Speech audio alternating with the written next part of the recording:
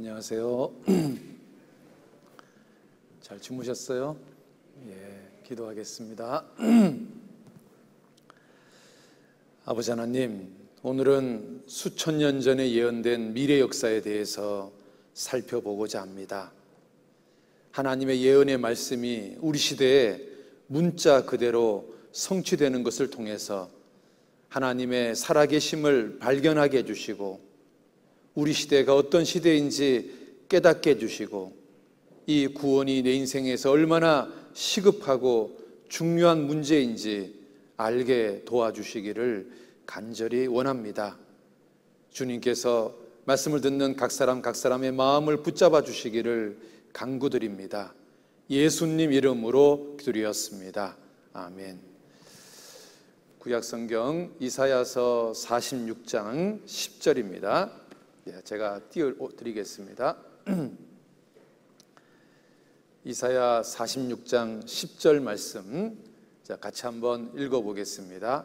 내가 종말을 처음부터 고하며 아직 이루지 아니한 일을 옛적부터 보이고 이르기를 나의 모략이 설 것이니 내가 나의 모든 기뻐하는 것을 이루리라 하였노라. 자, 여기 보시면 내가라는 것은 하나님이십니다. 하나님 내가 종말을 처음부터 구하며 세상이 어떻게 끝날 건지를 처음부터 말했다. 이 하나님께서요, 3,500년 전에, 때로는 2,700년 전에, 때로는 2,000년 전에 세상이 어떻게 끝날 건지를 예언하셨습니다.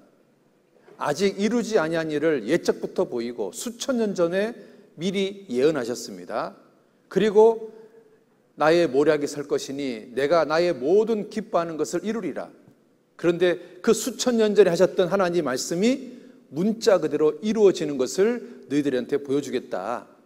오늘은 미래 역사에 대해서 배우려고 합니다. 어제는 지나간 과거 역사를 배웠다면 오늘은 미래 역사가 정말 성경대로 되었는지를 확인해 보는 그런 시간을 가지려고 하는 겁니다. 자, 보십시오.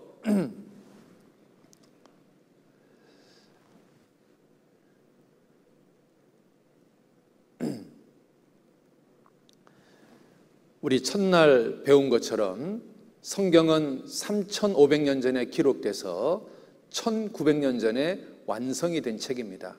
이 성경책 속에 세상이 어떻게 시작하는지가 기록돼 있었습니다. 어제 우리 그거 확인했습니다. 이제 이 성경 속에는 세상이 어떻게 끝나는지가 기록돼 있습니다. 예언되어 있습니다. 앞으로 세상이 이렇게 이렇게 될 거라고 예언되어 있는데 오늘 배워보시면 이 성경 말씀대로 문자 그대로 세상이 되어질 것을 확인하게 될 겁니다. 그래서 하나님이 정말 살아계시구나 이것을 확인하게 될 겁니다. 그래서 역사라는 말을 영어로 말하면 history 이렇게 말합니다. 이 말은 his라는 글자와 story라는 글자의 합성어입니다. 다시 말하면 역사의 주관자가 누구냐? 하나님이다. 그 말인 겁니다. 그래서 이 성경대로 지나간 역사가 흘러왔고 또 성경대로 미래 역사가 흘러갈 것을 우리가 확인할 수 있습니다. 여러분, 이 램세이라는 고고학자는 무신론자 아들로 태어났고 무신론자였습니다. 그는 굉장히 부자였고 옥스포드 철학 박사학위까지 받았습니다. 그런데 이 사람이요, 고고학을 연구하면 연구할수록 성경이 전부 다 진짜라는 것을 확인하게 됐습니다. 그래서 나중에 자신이 그리스도인이 되었다고 고백합니다. 무신론자였던 사람, 성경을 믿지 않았던 사람이 고고학을 연구하다 보니까 성경에 나오는 것이 전부 다 사실인 고고학적인 증거가 나타나니까 그리스도인이 되었다라고 고백하고 있습니다.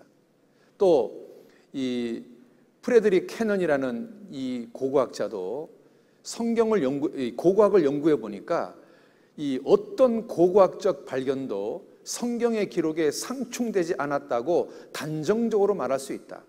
그러니까 이 고고학의 유물이 발견되면 이 고고학 유물이 성경이 사실인 것을 입증했지 고고학 유물이 성경이 엉터리인 것을 입증하는 유물이 단 한 건도 나온 적이 없었다. 그렇게 말하고 있습니다.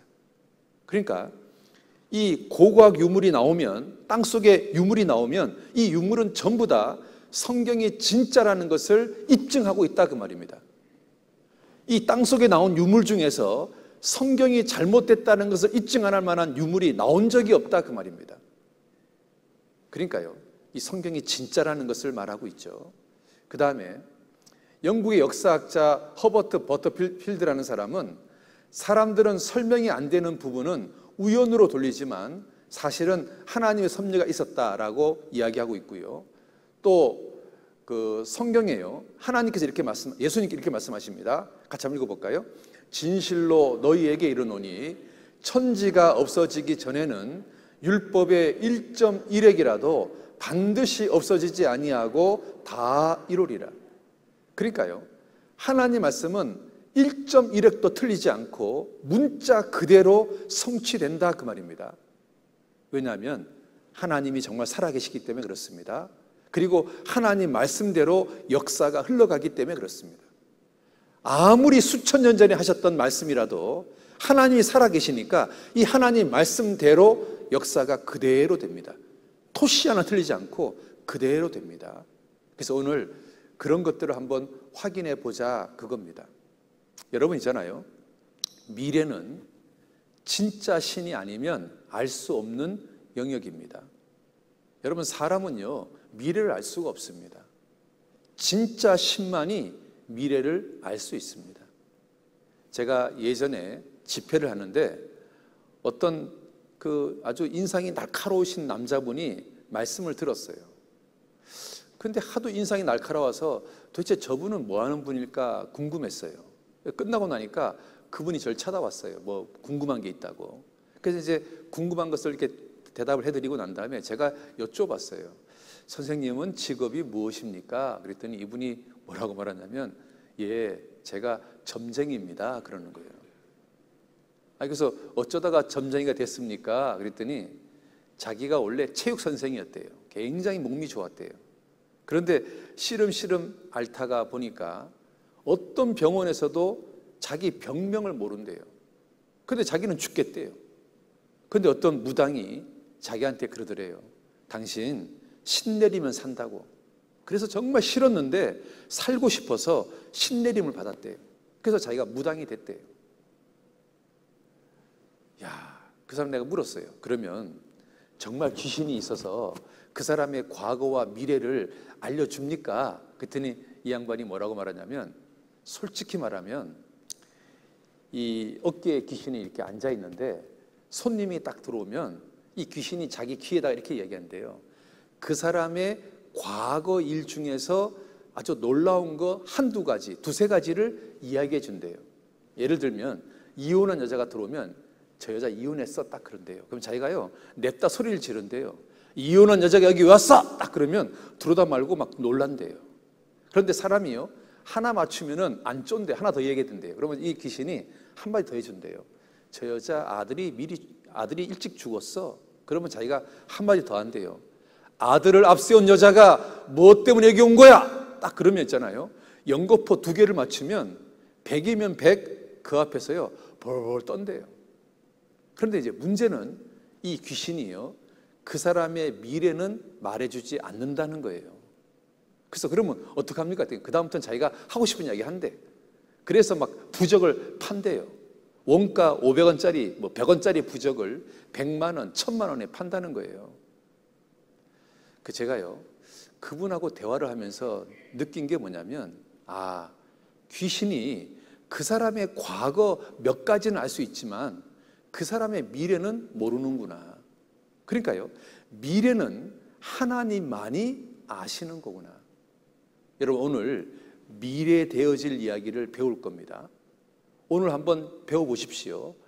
하나님 말씀대로 문자 그대로 이루어지는 것을 확인하게 될 겁니다. 그럼 있잖아요. 미래까지 맞추시는 하나님, 그분은 진짜 하나님이십니다.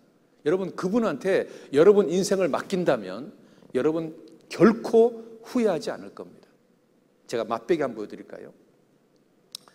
지금부터 2600년 어, 전에 하나님께서 이집트 왕 바로에게 하는 말입니다. 뭐라고 말하냐면 너는 앞으로 지극히 미약한 나라가 될 거다. 다시는 열국을 다스리지 못하게 할 거다라고 말합니다. 왜 이런 말을 했냐면 이 2600년 전에 이집트는 세계 최강이었습니다. 요즘으로 말하면 미국 같은 나라였습니다. 그러니까 자기 나라가 너무나 강대국이니까 이 이집트 왕, 왕 바로가 뭐라고 말하냐면 이 강은 내 거다, 내 것이다, 내가 만들었다 이렇게 말하는 거예요. 이, 이 바로 왕이요 얼마나 교만해졌냐면 이 이집트에 흐르는 나일강을 내가 만들었다 이렇게 말하는 거예요. 그 위에서요 하나님이 그 말을 들은 거예요. 저놈 보세, 진짜 교만하네. 뭐라고? 나일강을 네가 만들었다고? 하나님이요 이 바로 왕이요 너무 교만하니까 하나님이 마음을 고쳐 먹었습니다. 그래? 너 교만한 대가로 이제 네 나라는 앞으로 영원토록 미약한 나라가 될 거다라고 예언했습니다. 이 예언이 있고 나서요. 그 몇백 년 흐른 후에 알렉산더 대왕이 이끄는 헬라 제국이요. 이집트를 점령해 버립니다. 이 사건 이후로부터 지금까지 무려 2000년 동안 이집트는 있잖아요. 세상에서 별 볼륨 나라가 됐습니다. 미약한 나라가 됐습니다. 문자 그대로 됐습니다. 자, 보세요. 2600년 전이면 이집트가 세계 최강일 때 2300년 전에 헬라 제국에 멸망되고 나서 지금까지 문자 그대로 미약한 나라가 됐습니다. 여러분 있잖아요. 이게 노스타다무스의 예언입니다. 여기에 이스터가 누구라고 생각하십니까? 우리는요, 이거 읽어보면 이게 무슨 말인지 모르겠습니다. 그런데 이 이스터가 히틀러라는 거예요. 그러니까 사람으로서 유명한 노스타무스의 예언은 코에 걸면 코골이, 귀에 걸면 귀걸이라는 거예요. 이게 히틀러래요, 히틀러. 아니, 이게 어떻게 히틀러입니까? 이스터가 어떻게 히틀러입니까? 그러니까 세상 사람들이 말하는 예언은 너무나 형편없는 거예요. 코에 걸면 코골이 귀, 너무 두리뭉실한 거예요. 그런데 하나님의 예언은 아주 정확해요. 뭐라고 되어 있냐면 이집트가 미약한 나라가 될 거다. 다시는 열국을 다스리지 못하는 나라가 될 거다. 그런데 문자 그대로 됐다니까요. 자, 보실래요? 여러분 있잖아요. 지금 이집트가 얼마나 못 사냐. 이렇게 보세요. 이렇게 못 삽니다. 정말 못 살아요.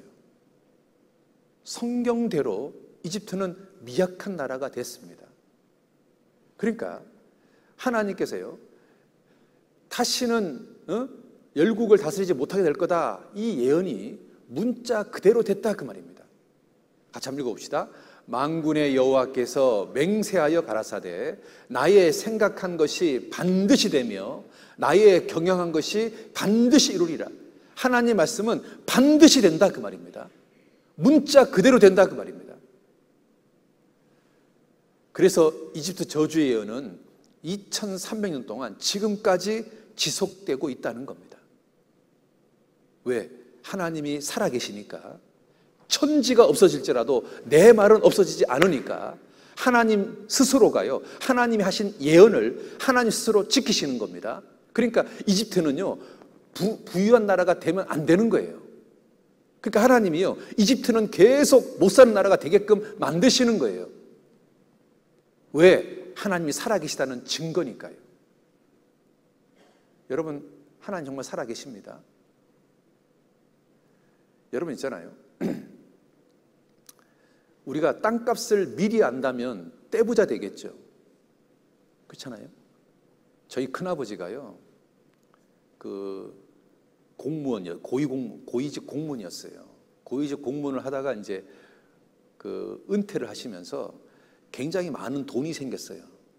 그때 이 큰아버지가요, 이 돈을 가지고 강남에다 땅을 살까 아니면 경기도 북부 지방에 땅을 살까 고민을 하셨대요.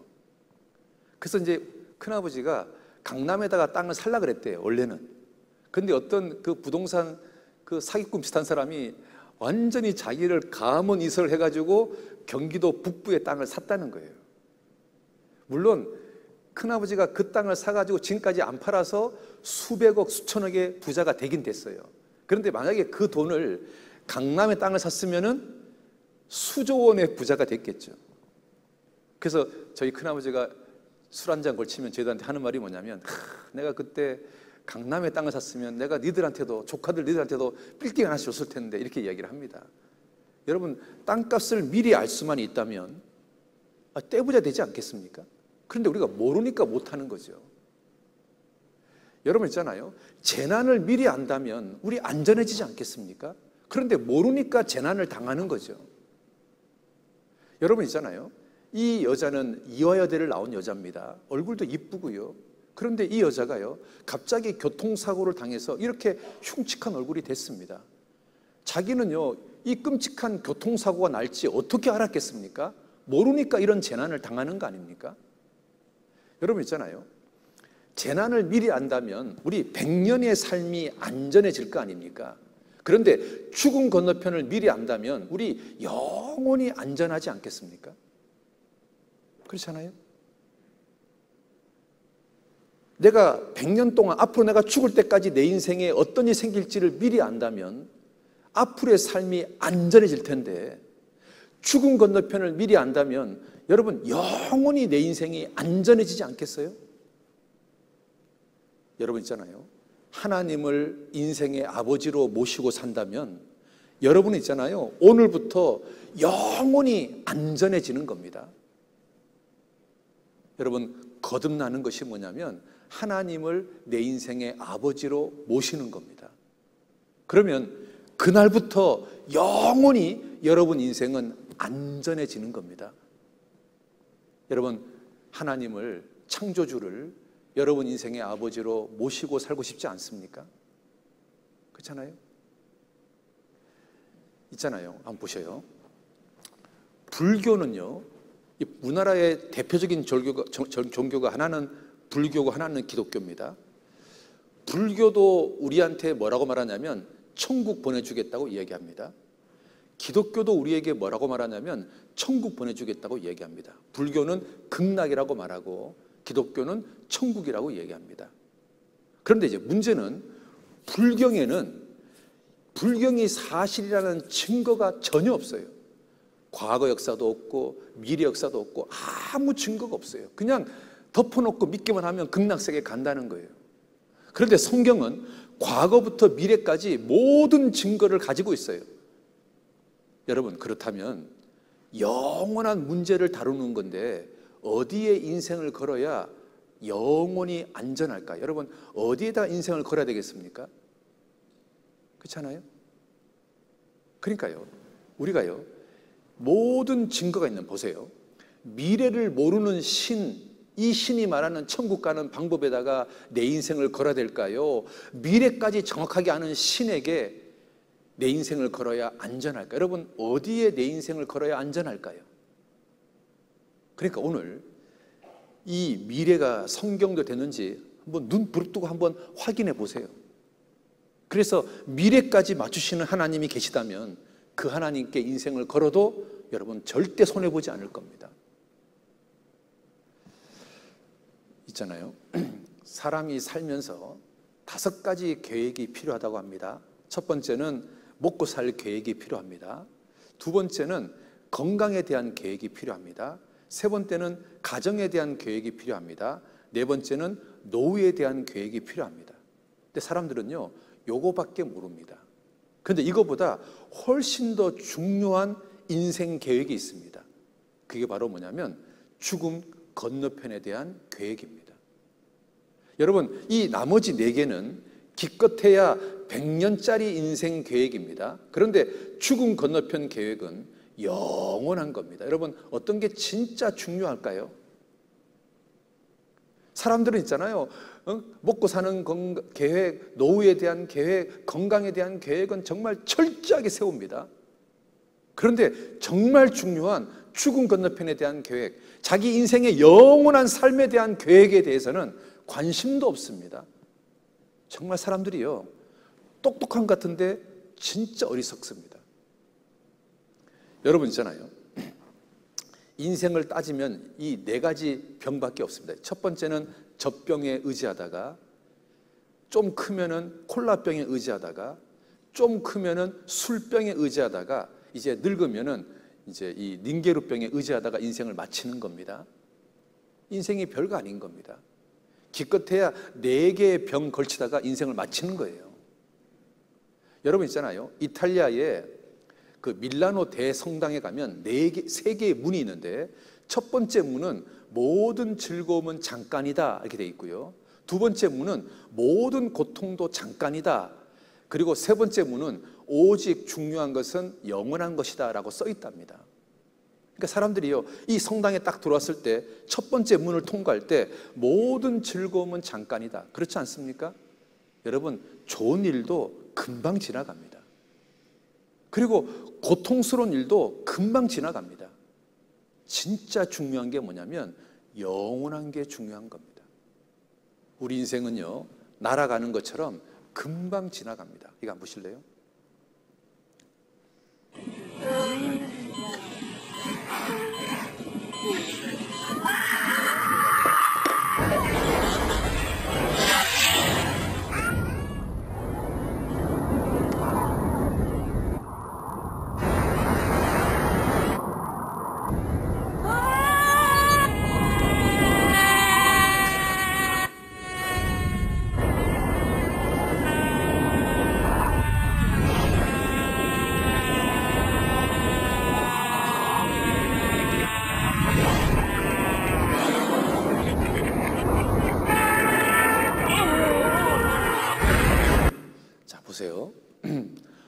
엄마 뱃속에서 응애하고 태어나서 이 관까지 들어가는 동안 굉장히 짧은 시간 금방 지나갑니다.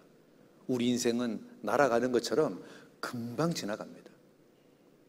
그런데 과연 이것으로 끝일까요?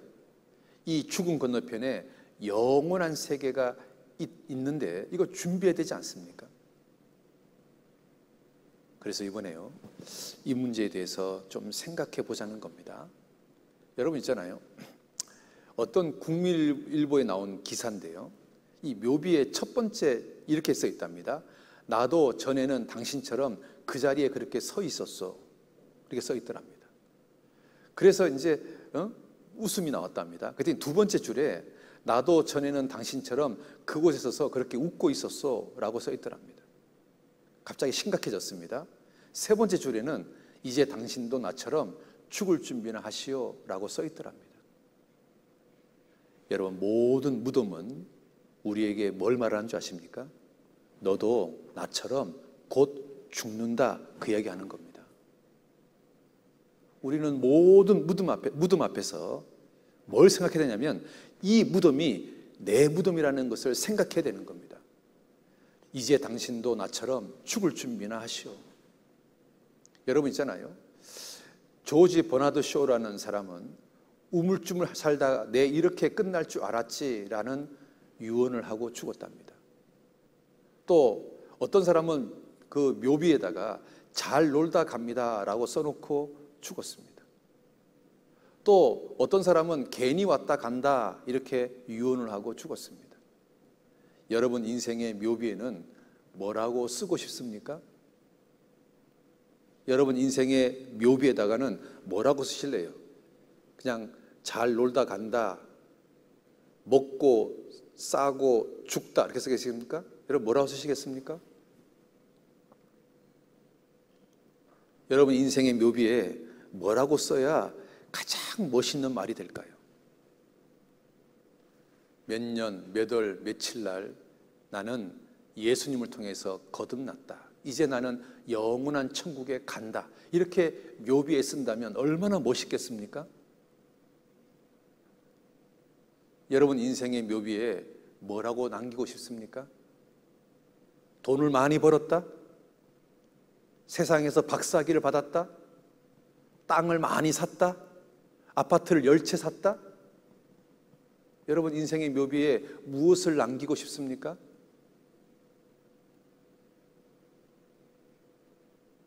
저는 이렇게 남기고 싶습니다. 몇 년, 몇 월, 며칠 날 예수를 통해서 거듭나고 주님을 위해 살다가 이제 영원한 천국에 갔다. 나 이렇게 남기고 싶습니다. 여러분 얼마나 멋있습니까? 그렇게 남기고 싶지 않습니까?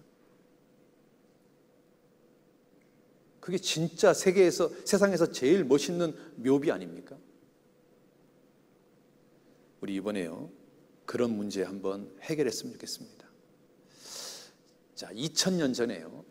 예수님과 제자가 이렇게 이제 서로 대화를 하는데 예수님이 이제 뭐 이렇게 설교를 하시는데 하루는 예수님 제자가 예수님께 질문을 합니다. 예수님, 세상 끝에는 무슨 징조가 있습니까? 라고 질문합니다.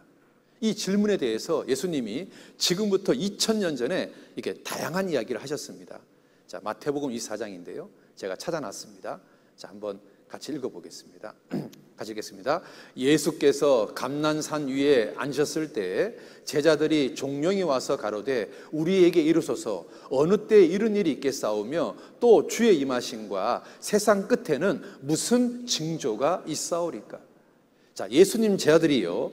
예수님께 물었습니다. 예수님, 세상 끝에는 무슨 징조가 있습니까?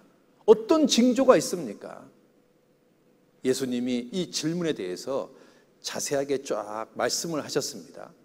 그런데 이 예수님의 말씀이 우리 시대에 문자 그대로 이루어졌다는 겁니다. 자, 이 말은 어떤 의미를 가지고 있냐면 이런 의미를 가지고 있습니다. 자, 먼저 아담에서 아브라함까지를 양심 시대라 그럽니다. 그리고 아브라함에서 예수님까지를 선민 시대라 그럽니다. 율법 시대. 그리고 예수님에서부터 우리 시대를 교회 시대 또는 은혜 시대라고 그럽니다. 또는 이방인의 시대라 그럽니다. 그런데 이 은혜 시대가 언제 끝나냐면 예수님이 공중 재림에서 우리가 휴거될 때 끝납니다. 그리고 7년 대환란이 있다가 7년 대환란 끝에 예수님이 지상에 재림합니다. 그리고 천년 동안 왕국이 있다가 이제 영원한 천국과 영원한 지옥으로 나뉘어집니다. 그래서 지금 제 아들이 물어본 게 뭐냐면 예수님이 공중 재림한다는데 이게 언제 일어나는 겁니까? 예수님이 지상 재림한다는 이게 도대체 언제 생기는 겁니까? 징조가 있습니까? 라고 물어본 겁니다. 이 질문에 대해서 예수님이 대답을 하신 겁니다. 여러분 있잖아요. 징조란 말은 이런 겁니다. 자, 보세요. 이 여자가 지금 만삭인데 갑자기 배가 아프다 그러면 어떤 징조입니까? 애가 나올 징조입니다. 그렇죠? 갑자기 하늘이요 새카매지고 먹구름이 끼고 막 천둥 번개가 칩니다. 그러면 어떤 징조입니까? 비가 내릴 징조입니다. 여러분 집이 지금 기울어져 있습니다. 어떤 징조입니까? 집이 무너질 징조입니다. 그렇죠? 지금 제 아들이 물어본 게 뭐냐면 세상 끝날의 징조가 뭡니까? 라고 물어본 겁니다. 이 질문에 대해서 예수님이 이렇게 말합니다. 가짜 예수가 많아질 거다. 그리고 범죄와 전쟁이 많아질 거다. 그리고 지진과 기근과 질병이 많아질 거다. 그리고 복음이 온 세상에 전파될 거다. 그리고 이스라엘 민족이 회복될 거다라고 예언되어 있다는 겁니다. 자, 마태복음 24장. 자, 보겠습니다. 마태복음 24장 5절. 마태복음 24장 5절. 제가 읽어 볼게요. 많은 사람이 내 이름으로 와서 이르되 나는 그리스도라 하여 많은 사람을 미혹해 하리라. 내가 예수라고 하는 사람들이 많아진다 그 말입니다. 자, 보세요.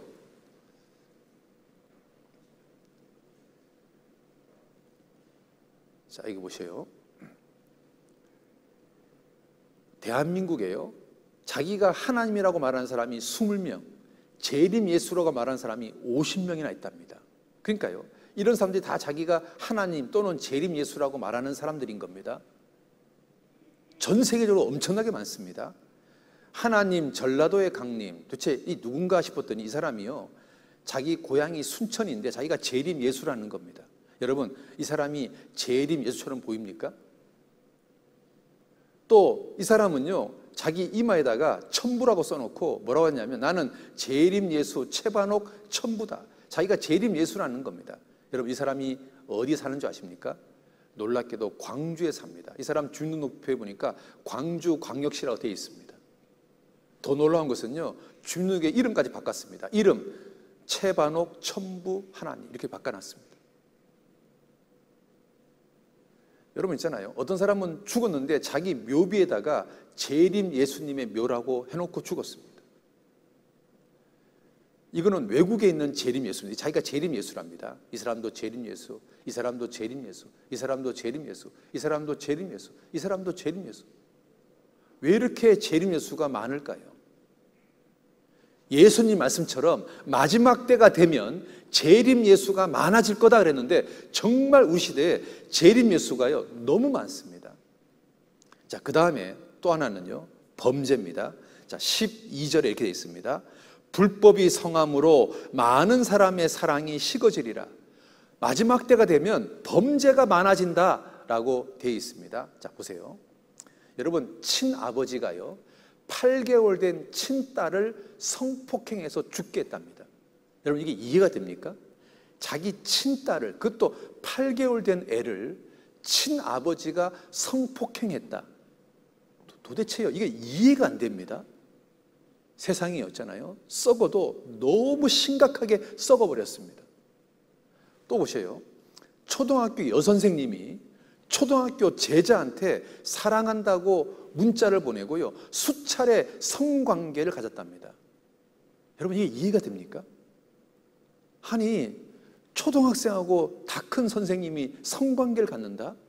그 왜 그러냐고 물어봤더니 잘생겼대요. 아니, 초등학생이 잘생기면 대체 여러분 이게 정말 이해가 안 되는 세상이 되어버렸습니다. 그리고 있잖아요. 동성연애 있잖아요. 여자끼리 결혼하고 남자끼리 결혼하고 심지어는 있잖아요. 개하고 결혼하고 여러분 개하고 결혼한다는 말이 뭔지 아십니까? 개하고 잠자리 갖는다는 말입니다. 그러니까요. 이 에이즈 환자가 막 급증하는 겁니다. 여러분 있잖아요. 에이즈로 2,500만 명이 죽었습니다. 그런데도 사람들이요, 에이즈에 대해서 계속 관심을 갖습니다. 대한민국이요, 에이즈 환자가 지금 아주 엄청나게 급증하고 있습니다. 옛날에는 동성 연애자들이요, TV에 나오지를 않았습니다. 그런데 지금은 있잖아요. 동성 연애자들이 TV에 아주 당당하게 나옵니다. 아주 잘났다고 나옵니다. 세상이 있잖아요. 잘못돼도 너무 잘못돼 버렸습니다. 그러니까 젊은 청소년들이요. 동, 연예인들이 동성 연애자들이 막 연예인들이 TV에 나오니까 어, 이게 잘못됐다는 생각을 안 하는 거예요. 그러니까 청소년들이요 에이즈 환자가 급증하고 있는 거예요. 세상이요 완전히 말세가 되고 있는 겁니다. 그래서요 에이즈에 걸리면 이렇게 온 몸에요 막 질병이 생기는 겁니다. 여러분 있잖아요 성경에요 남자가 서로 음욕이 이게, 이게 동성연애잖아요. 그러면 상당한 보험을 그 자신 몸에 받는다. 이게 에이즈잖아요. 그러니까 이미 성경은 동성연애를 하면 하나님의 징벌이 그 사람 몸속에 생긴다고 경고했는데도 불구하고 사람들은요, 동성연애를 멈추지 않는 겁니다. 세상이요, 정말로 막 가는 겁니다. 그 다음에 있잖아요, 지진. 여러분 성경에 8절에 보니까 되어 있습니다. 처처에 기근과 지진이 있을 거다. 여러분 보세요. 여러분 있잖아요. 전쟁이 얼마나 많은지 모릅니다. 처처에 전쟁이 많아진다. 여러분 전쟁이 진짜 많습니다. 그리고 지진이 많아진다. 여러분 있잖아요. 지진이요. 갑자기 폭발적으로 증가하고 있습니다. 2700년 전 성경에요. 죄가 증가하면 지진이 증가할 거라고 예언했습니다.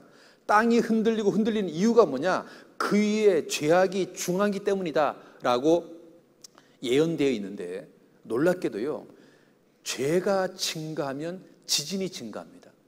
자, 예를 한번 들어볼게요. 20세기 초반에 6.0 이상의 강진은 딱 세 번 터졌습니다. 10년 동안. 근데 20세기 말에는 10년 동안 310번 터졌습니다. 무려 100배가 증가했습니다. 왜? 그만큼 인간의 죄가 증가하니까 지진이 증가하는 겁니다. 자, 대한민국 한번 볼까요? 여기 보시면 강간 살인이요. 5천번대, 600번대 있습니다. 그런데 만 천번대, 천번대로 거의 두 배가 늘었습니다. 대한민국의 범죄가요. 두 배가 늘었습니다. 그러면 대한민국의 지진도 두 배가 늘어야 되지 않습니까? 2012년도 하고 2013년도 하고 지진을 비교해 보면 거의 두 배가 늘었습니다. 그러니까 죄가 증가하면 지진이 증가하는 거예요.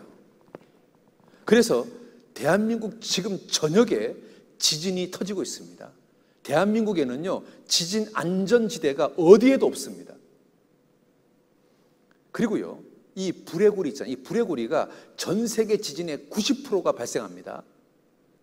그래서 있잖아요. 도로가 막 갈라지고 도로가 막 무너지고 이렇게 합니다. 지진이요. 지금 굉장히 많아지고 있습니다. 그 다음에 기근. 여러분 있잖아요. 이 지구는요. 적정 인구가 5억이랍니다. 그런데 지금 인구가요. 77억입니다. 그러니까요. 굶어 죽는 사람들이요. 속출하고 있습니다. 여러분 있잖아요. 그 대한민국은요. 쌀을 제외하고는 곡물 자급률이 3%밖에 안 된답니다. 그러니까 97%를요, 수입에 의존한다는 겁니다. 대한민국은. 그러니까 전 세계적으로 만약에 기근 문제가 딱 생기면 대한민국이 아주 심각한 나라가 되는 거예요. 그리고 있잖아요. 복음이 온 세상에 전파되면 끝이 온다 그랬는데 여러분 있잖아요. 불경은 40개의 언어로 번역이 됐고 해리포터는 55개의 언어로 번역이 됐는데 성경은 2426개의 언어로 번역이 됐습니다. 타의 추정을 불허합니다. 독보적입니다. 성경처럼 이렇게 많은 나라의 말로 번역된 책이 존재하지 않습니다. 그런데 최근에는 2538개 언어로 번역이 됐다 그러고요. 앞으로 15년 내에 전 세계 모든 언어로 성경 번역이 완성된답니다. 다시 말하면 2025년이 되면 성경 번역이 끝난다는 겁니다. 예수님이요. 복음이 온 세상에 전파되면 끝이 온다 했으니까요. 뭔가 좀 생각해 봐야 되는 거 아닙니까? 자, 그 다음에요. 그 다음에 또 이 지금 있잖아요. 메뚜기 재앙이 아주 심각합니다. 이 메뚜기 때문에 아마 잘못하면 올 여름 이후에 올 가을에 심각한 기근이 생길 수도 있습니다. 이 메뚜기 때 한번 영상 보실래요? 하늘을 뒤덮은 수많은 메뚜기 떼들. 이들이 지나간 곳은 순식간에 폐허로 변했습니다. 요즘 코로나19로 어려움을 겪고 있는 중국에 또 다른 공포의 존재가 다가오고 있습니다. 바로 메뚜기 떼입니다.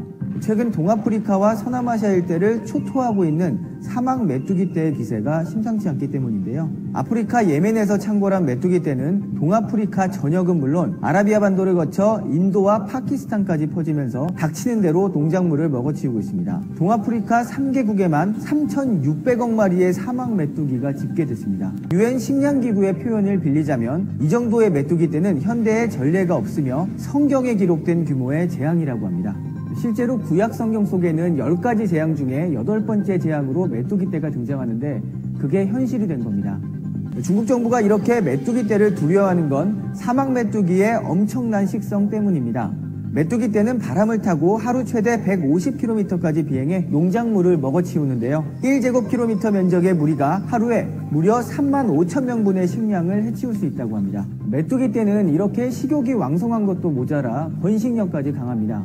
암컷 메뚜기 한 마리가 보통 300개의 알을 낳는데 이미 성충 메뚜기들이 광활한 지역에 걸쳐 알을 낳고 있으며 이 중 많은 수의 부화가 시작됐습니다. 초기 통제 실패로 메뚜기 떼가 6월까지 이어지면 현재 규모의 500배로 증가할 수 있다는 암울한 전망까지 나옵니다. 파키스탄에 10만 마리의 오리 부대를 보내 천적인 메뚜기를 없앤다는 보도까지 나왔는데요. 사막지대인데다가 너무 더워서 오리가 생존하기에는 적합하지 않아 없던 일이 됐다고 합니다. 기후변화로 인해 점점 심해지는 메뚜기 떼의 공습. 인간이 막을 수 있을까요? 지금 이제 이 메뚜기 떼가 인도까지 왔답니다. 이제 이 메뚜기 떼가 중국을 만약에 점령해 버리면 중국의 그 농작물이 황폐가 됩니다. 그러면 13억 인구가 먹을 게 없잖아요. 그럼 이 사람들이요 전 세계 식량을 다 수입할 거 아닙니까? 그러면 식량 가격이 폭등하게 될 겁니다. 지금 심각해지는 겁니다. 자, 그 다음에요. 또 성경에 이렇게 뭐라 되어 있냐면 같이 읽어봅시다. 처처에 큰 지진과 기근과 온역이 있겠고 온역이 뭐냐면 전염병 또는 유행성 질병을 말하는 겁니다. 지금 코로나 같은 거 마지막 시대가 되면 전염병이 생길 거다. 유행성 질병이 생길 거다라고 예수님이 경고했는데 그런데 정말 우리 시대에 이 유행성 질병이 전 세계를 지금 강타하고 있습니다. 자, 한번 확인해 보겠습니다.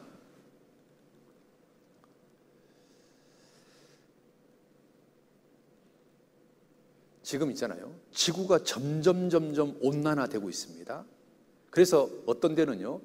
어, 수송보다 더 더운 데가 대구라고 말할 정도로 정말 점점 점점 지구가 더워지고 있습니다.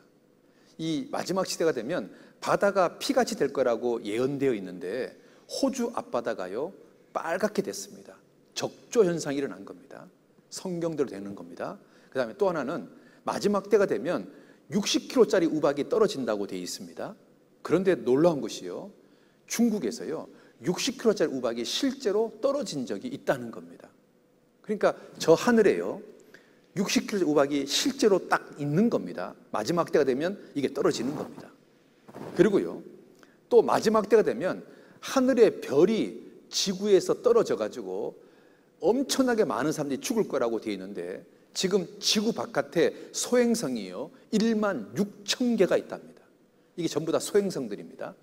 이 소행성들은 방향이 일정하지 않습니다. 이게 지구로 올지 안 올지 아무도 예측이 불허하답니다.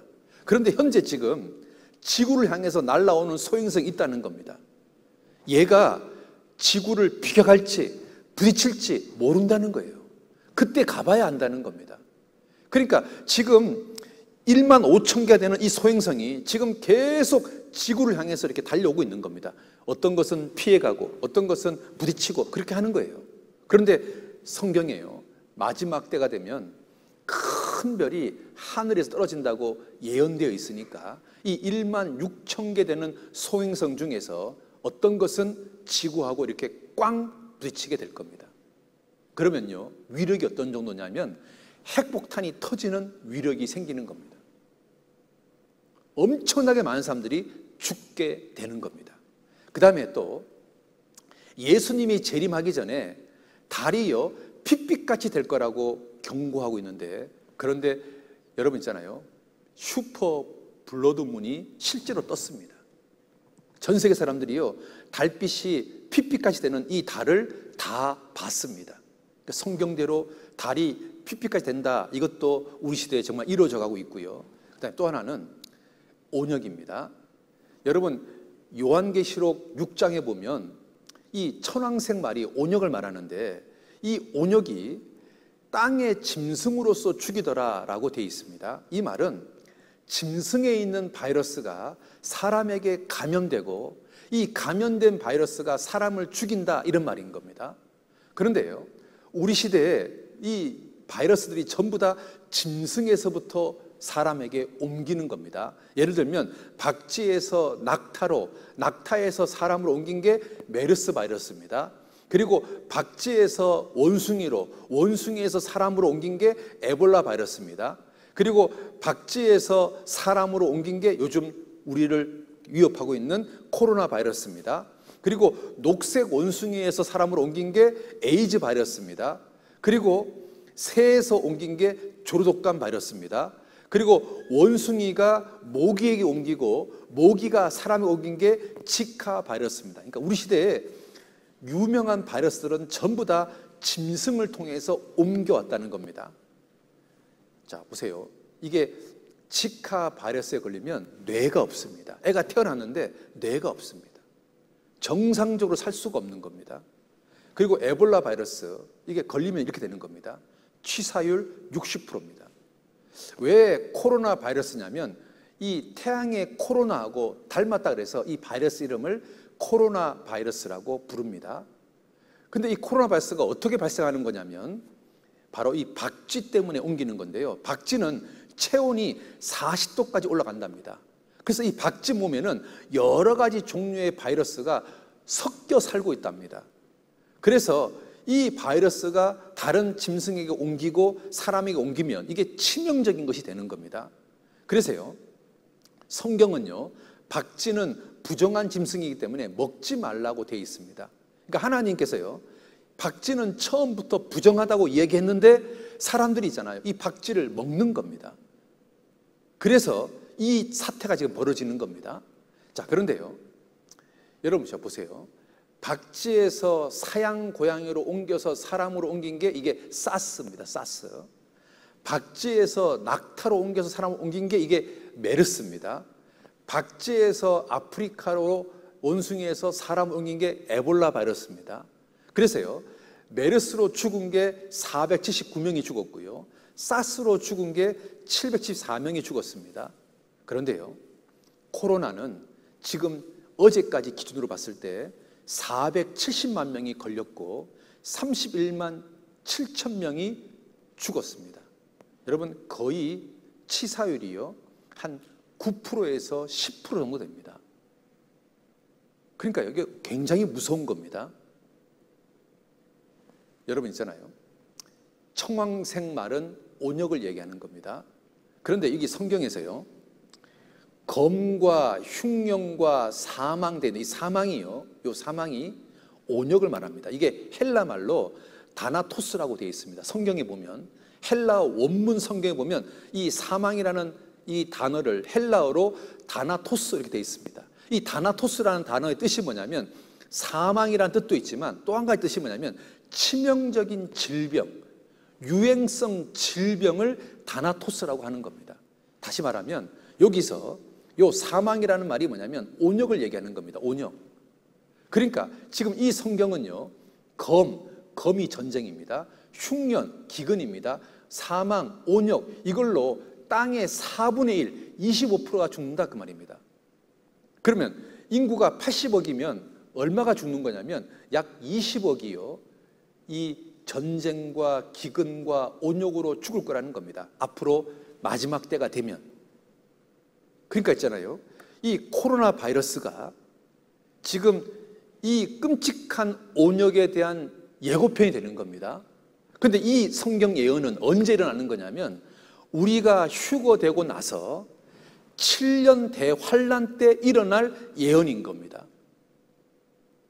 그러니까 이 성경에서 이 사망이 정확하게 성경은 온역이라고 돼 있거든요. 그러니까 이 온역이 앞으로 7년 대환란 기간 중에 엄청난 사람을 죽일 거라는 겁니다. 그럼 자 보세요.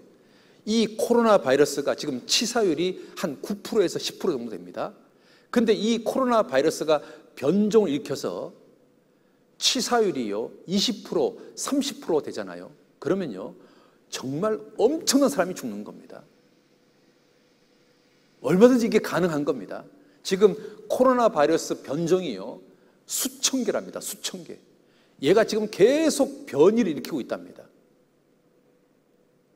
그래서요, 인간이요, 이 코로나 바이러스 백신을 만든다고 하는데, 백신을 만들었을 때쯤 해서 얘가요, 새로운 종으로 또 변이를 일으켜버리면 이 약이요, 쓸모없게 될 수도 있다는 겁니다. 그러니까 심각한 이야기가 되는 겁니다. 그래서 정말로 끔찍한 이야기가 되는 거예요. 여기 한번 미국인 만 영상이나 보실래요? Jack, come here. 엄마가 아기를 부릅니다. 얘도 코로나 바이러스가 무서운가 봅니다. 여러분 그 이 키신저라는 사람은 유대인인데요. 이 사람은 아주 세계적으로 막강한 영향력을 가지고 있는 사람입니다. 근데 이 키신저가 이런 말을 했습니다. 이 코로나 때문에 세계 질서가 완전히 바뀌게 될 거다라고 얘기합니다. 이 말은 여러분 적그리스도가 다스리는 세상으로 점점 바뀌게 될 거다 그런 것을 암시하고 있는 겁니다. 여러분 성경에는 그리스도인들이 휴고되고 나서 적그리스도가 7년 동안 세상을 다스리게 된다고 예언되어 있습니다. 그런데 키신저가 아주 끔찍한 말을 하는 겁니다. 이 코로나가 세계 질서를 완전히 바꿀 거다. 지금 세상이요. 그렇게 굉장히 무섭게 변해가고 있습니다. 그래서 있잖아요. 여러분 있잖아요. 이게 그 몇 년 전에 세상을 과학자들이요. 지구 종말 5분 전이라고 발표했는데 최근에는요. 지구 종말 100초가 남았다.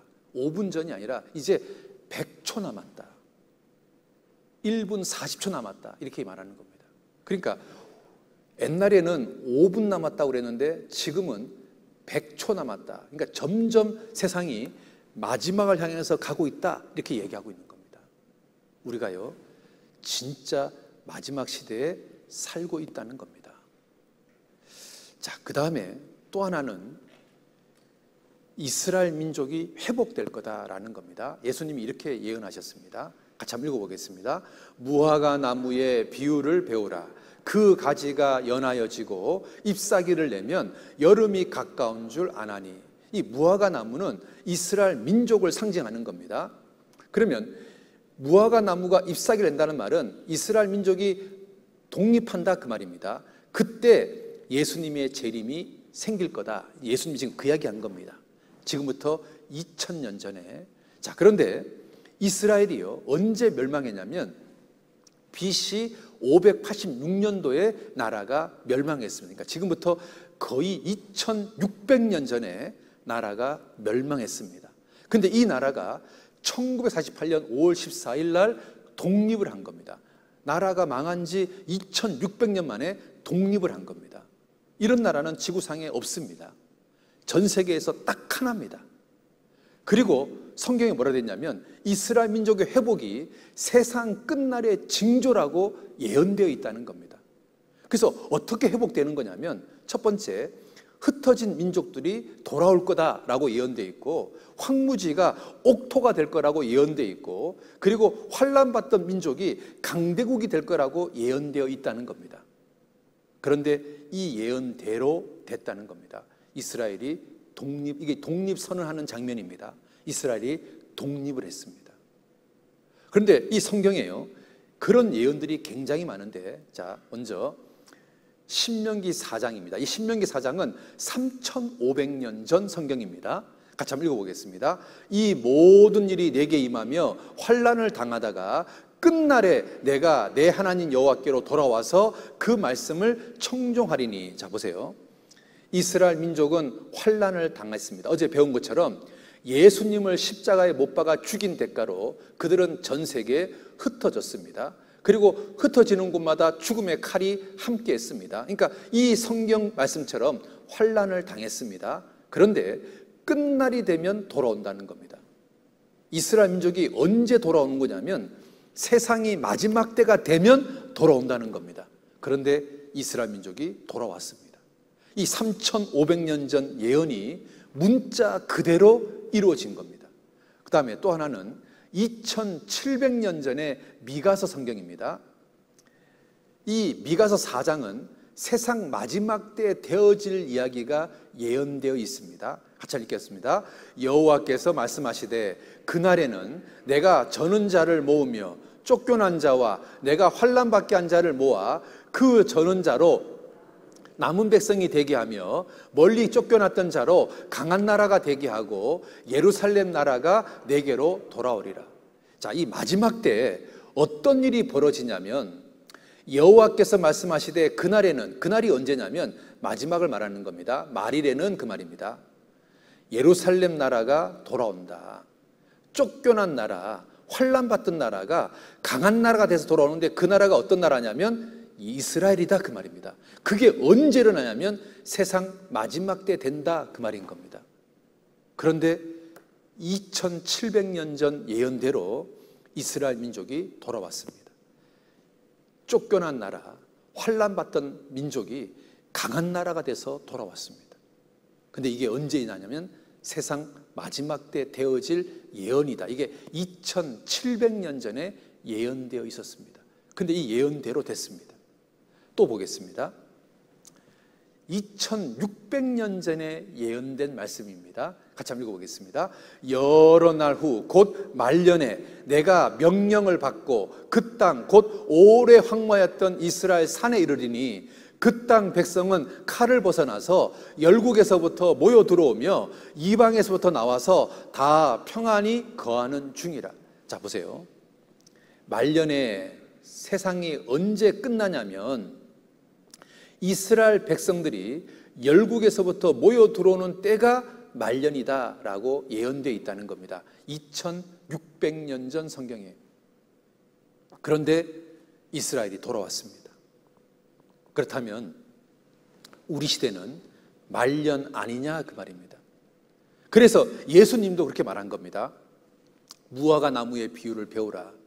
무화과 나무가 잎사귀를 내면 이스라엘이 독립을 하면 나의 재림이 임박하다. 예수님이 그렇게 예언하신 겁니다. 그래서 성경에요. 그런 말들이 계속 나오는 겁니다. 여러분 보세요. 3,500년 전 신명기도 그렇게 예언되어 있고 2,700년 전 미가서도 그렇게 예언되어 있고 2,600년 전 에스겔 38장도 그렇게 예언되어 있고 2,000년 전 마태복음 24장도 그렇게 예언되어 있는 겁니다. 그런데 이 예언 그대로 문자 그대로 성취가 됐다는 겁니다. 자, 이스라엘이 독립하는 장면 한번 보실래요?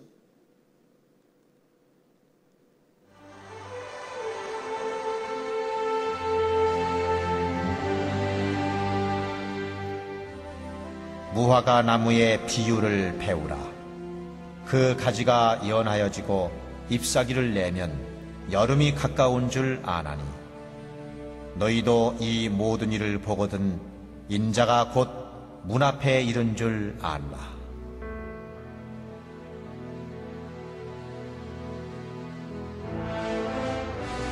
예수님께서는 그 재림의 시기, 인자가 가까이 곧 문 앞에 이른 시기를 알려주시기 위해 무화과 나무의 비유를 배우라 하시며 이스라엘의 역사를 움직여 가셨던 것이다. 예수님의 재림 시기를 알려주시기 위해 하나님께서는 이스라엘의 독립을 통해 전 세계의 역사를 움직이셨던 것이다. 역사학자들이 뭐라고 말한 줄 아십니까? 20세기 최고의 기적은 이스라엘이 독립한 거다. 왜냐하면 나라가 망한 지 2600년 만에 나라가 독립한 나라가 역사상 없습니다. 어떤 나라도 없습니다. 그런데 이스라엘만이 독립을 했습니다. 왜냐하면 성경에 예언되어 있기 때문에 그렇습니다. 하나님이 마지막 때가 되면 하나님께서 강권적으로 독립을 시킨 겁니다. 하나님이 살아계시기 때문에 그렇습니다. 자, 이스라엘 민족이 회복되는데 구체적으로 어떻게 회복되냐면 황무지, 그러니까 원래 이스라엘 땅은 적과 꿀이 흐르는 기름진 땅이었습니다. 그런데 하나님의 징벌로 황무지가 됐던 겁니다. 근데 이 황무지가 된 땅을 다시 옛날처럼 옥토로 만들어 주겠다고 예언되어 있습니다. 그리고 두 번째는 이스라엘 민족은 가나안 땅에 옹기종기 살고 있었습니다. 근데 예수님을 십자가에 못 박아 죽인 대가로 그들은 열방 중에 흩어졌습니다. 어제 배웠지 않습니까? 근데 흩어진 민족이 다시 이스라엘 땅으로 돌아온다고 예언되어 있습니다. 그 다음에 세 번째는 이스라엘 민족이 가는 곳마다 죽음의 칼이 함께 했습니다. 지난 2000년 동안. 그런데 이제 돌아올 때는 강대국이 돼서 돌아온다고 예언되어 있다는 겁니다. 그 중에 첫 번째, 황무지가 옥토가 된다는 예언입니다. 자, 같이 한번 읽어보겠습니다. 전에는 지나가는 자의 눈에 황무하게 보이던 그 황무한 땅이 장차 기경이 될지라.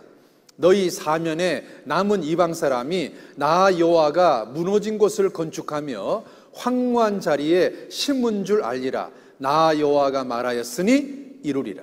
자, 보세요. 지금 읽었던 성경은 2600년 전 성경입니다. 이스라엘 땅은 지금까지 2000년 동안 황무한 땅이었습니다.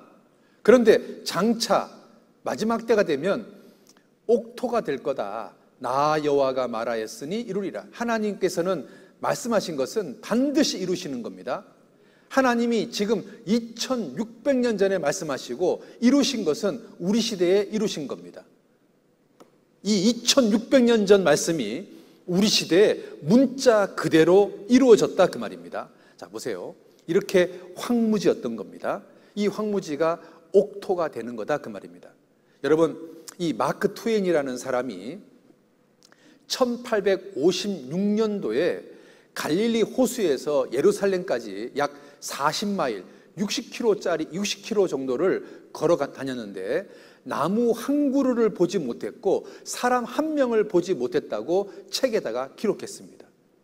그러니까 여러분 올해가 2020년이니까요. 1856년을 빼면은 이게 4년, 6년, 164년 전만 해도요. 이스라엘 땅에는 나무 한 그루가 없었고 사람 한 명이 없었던 겁니다. 164년 전만 해도. 그런데 그렇죠? 맞죠? 164년 전만 해도 나무 한 그루가 없고 사람 한 명이 없었던 곳이었는데 지금은 완전히 바뀌었다 그 말입니다. 자, 보세요. 이렇게 황무지였던 땅이었는데 이렇게 싹 바뀌었습니다. 완전히 나라가 바뀌어 버렸습니다. 옥토가 돼 버렸습니다. 에덴 동산처럼 돼 버렸습니다. 기가 막히게 바뀌어 버렸습니다. 그리고요. 또 뭐라 되냐면 황량하고 적막하고 무너진 성읍들의 성벽과 거민이 따리니 나 여호와가 무너진 것을 건축한다. 그러니까 도시가 완전히 박살났는데 도시가 세워질 거라고 예언되어 있다 그 말입니다. 자 보세요. 너무너무 아름다운 도시가 세워진 겁니다. 집들이 세워질 거다. 그런데 이렇게 세워졌습니다. 성경대로 됐습니다. 여러분 이스라엘 땅 한번 보실래요? 얼마나 멋있게 변했는가?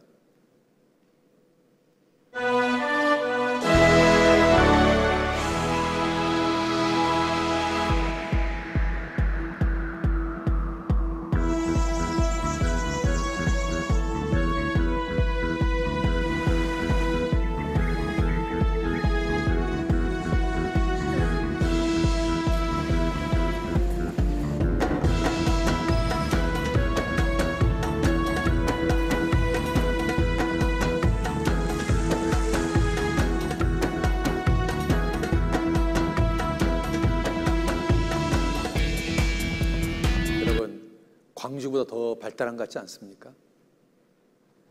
완전히 천지개벽이 일어난 겁니다.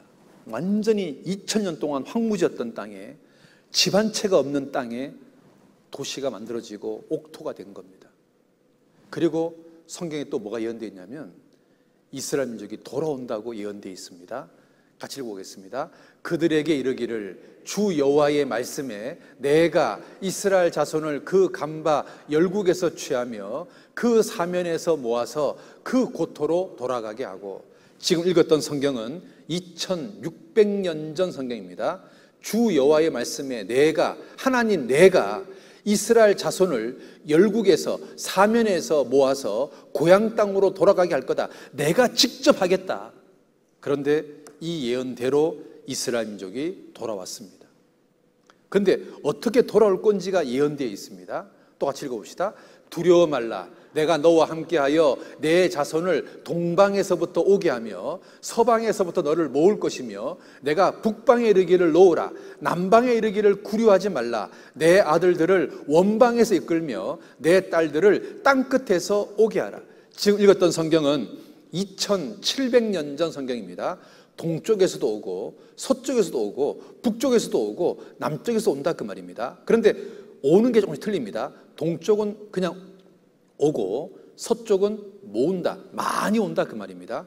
북쪽은 못 가게 막으니까 놓으라 이렇게 말하고 남쪽도 못 가게 막으니까 구류하지 말라 이렇게 되어 있습니다. 그러면 이대로 됐냐 그 말입니다. 자 보세요. 그리고 또 하나는 이스라엘 백성들이 날아온다고 되어 있습니다. 비행기 타고 온다 그 말입니다. 자, 우리 어제 이스라엘 백성들이 예수님을 십자가에 못 박아 죽인 대가로 그들이 전 세계에 흩어진 것을 배웠습니다. 이제 흩어진 이스라엘 민족이 돌아온다는 겁니다. 돌아온다는 겁니다. 자, 보세요. 유대인의 기환의 특징은 첫 번째, 사방에서 돌아온다. 두 번째, 날아서 온다. 세 번째, 북쪽과 남쪽은 반대하지만 돌아온다. 동쪽과 서쪽은 자유롭게 온다. 그런데 동쪽은 소수가 오고 서쪽 유럽은 다수가 온다. 이게 유대 기환의 특징입니다. 성경 예언이 이겁니다. 자, 그런데 자 보세요. 북방에 이르기를 놓으라 이렇게 되어 있습니다. 여러분 이스라엘 땅의 북쪽은 러시아입니다. 이 러시아에 유대인들이요 320만 명이 살고 있었습니다. 그런데 러시아 정부가 못 가게 막았기 때문에 놓으라 이렇게 말하는 겁니다. 자, 먼저 북방에 놓으라 이 말은 유대인들이 북쪽에 흩어진 적이 있어야 되는 겁니다. 두, 두 번째, 자유롭게 고향 땅으로 돌아올 수 없는 어떤 정적인 상황이 돼야 되는 겁니다. 세 번째, 반대에도 불구하고 돌아오는 기적이 만들어져야 되는 겁니다. 네 번째, 날아서 와야 되는 겁니다. 이대로 됐냐 그 말입니다. 자, 보세요. 1971년 중앙일보입니다. 이 1971년 중앙일보에 뭐라 되어 있냐면 박해 속의 소련 유태인 320만 명 귀향 염원. 그러니까 1971년도만 해도 소련 땅에 있는 유대인들이요 고향 땅에 못 갔다 그 말입니다. 그러니까 신문 제목이 박해 속의 소련 유태인인 겁니다. 몇 명이 못 가고 있냐면 320만 명이 고향 땅에 못 가고 있다 그 말입니다. 소련 정부가 320만 명 유대인들을 못 가게 막고 있다 그 말입니다. 하나님은 이것도 아시고 2700년 전에 북쪽을 향해서 노라 이렇게 말하는 겁니다. 다시 말하면 러시아를 향해서 노라 이렇게 말하는 겁니다. 러시아 정부가요 못 가게 딱 막고 있으니까 하나님께서요 러시아 땅에 기근을 딱 일으키는 겁니다. 그러니까 러시아 정부가요 빵을 구할 수가 없는 거예요. 근데 당시에 전 세계 식량을 딱 쥐고 있는 유대인이 미국 러시아한테 뭐라고 제안하냐면 식량하고 유대인 러시아 땅에 있는 유대인하고 바꾸자 하고 제안합니다. 그래서 어쩔 수 없이 바꾸는 겁니다. 그래서 미국 식량은 소련 배로 들어가고 소련에 있는 유대인들은 미국 배로 내려오고 그러니까 식량하고 유대인하고 흥정을 벌인 겁니다. 그래서 드디어 1985년도에 소련 땅에 있는 유대인 40만 명이 출국 허용이 됐습니다. 그리고 프랑스가 비행기 편을 제공해서 비행기 타고 가게 된 겁니다. 이걸 계기로 해서 320만 명 유대인 중에서 무려 280만 명이 이스라엘 땅으로 돌아가게 됐습니다. 이제 소련 땅에는 유대인이 몇 명 남았냐면 40만 명 정도 남았습니다. 다 돌아갔습니다. 그래서 여러분 있잖아요.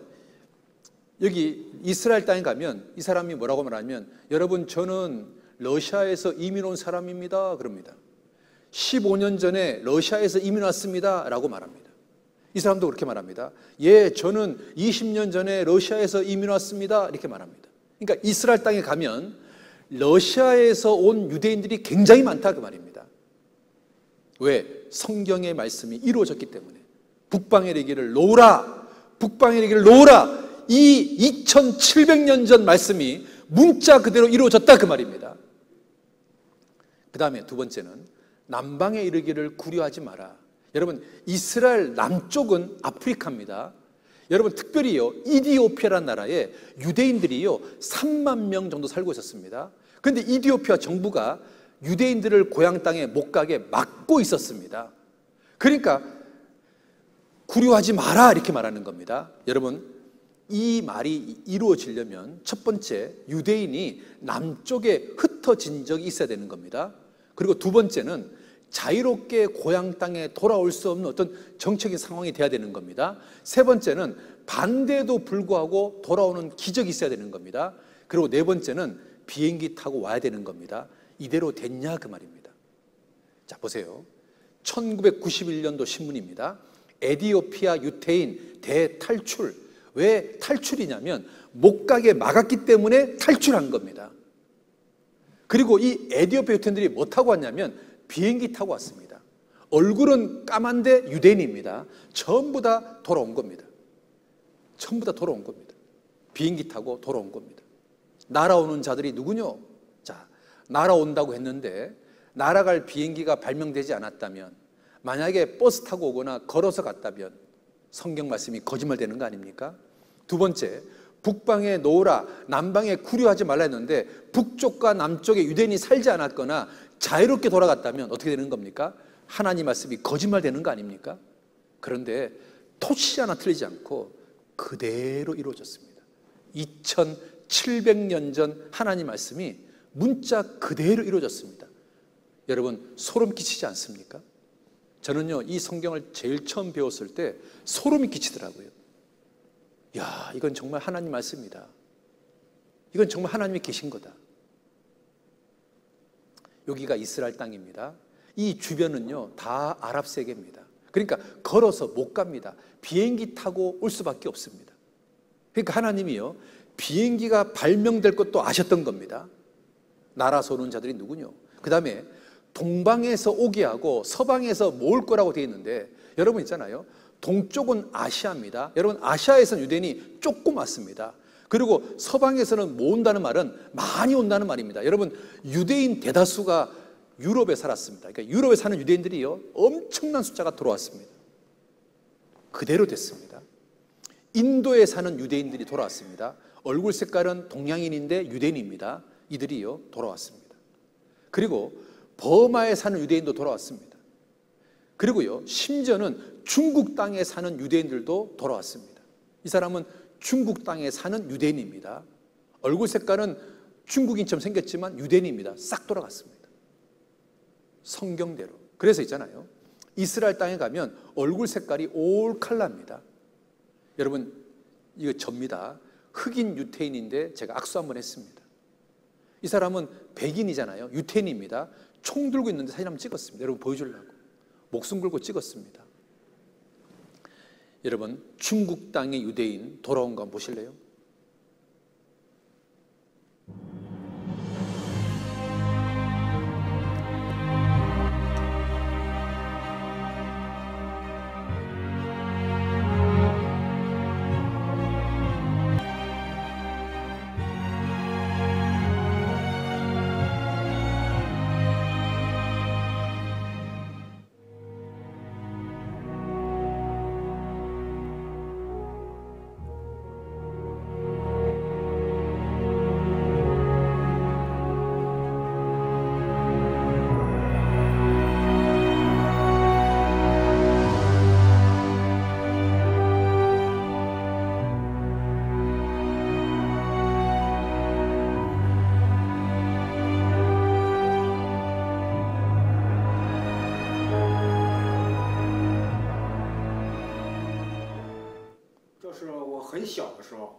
就是我的父母，我的父亲一直就说我们是犹太人。当时我们在家里头，我父亲他们那是也是文化大革命的时候，就是以前，呃，也是在家聚会，呃，旧社会的时候就是是一个警察，一直没有机会，就是在过去那个以色列也没有成立，阿拉伯呃四九年才成立嘛，是啊四八年以色列才建国。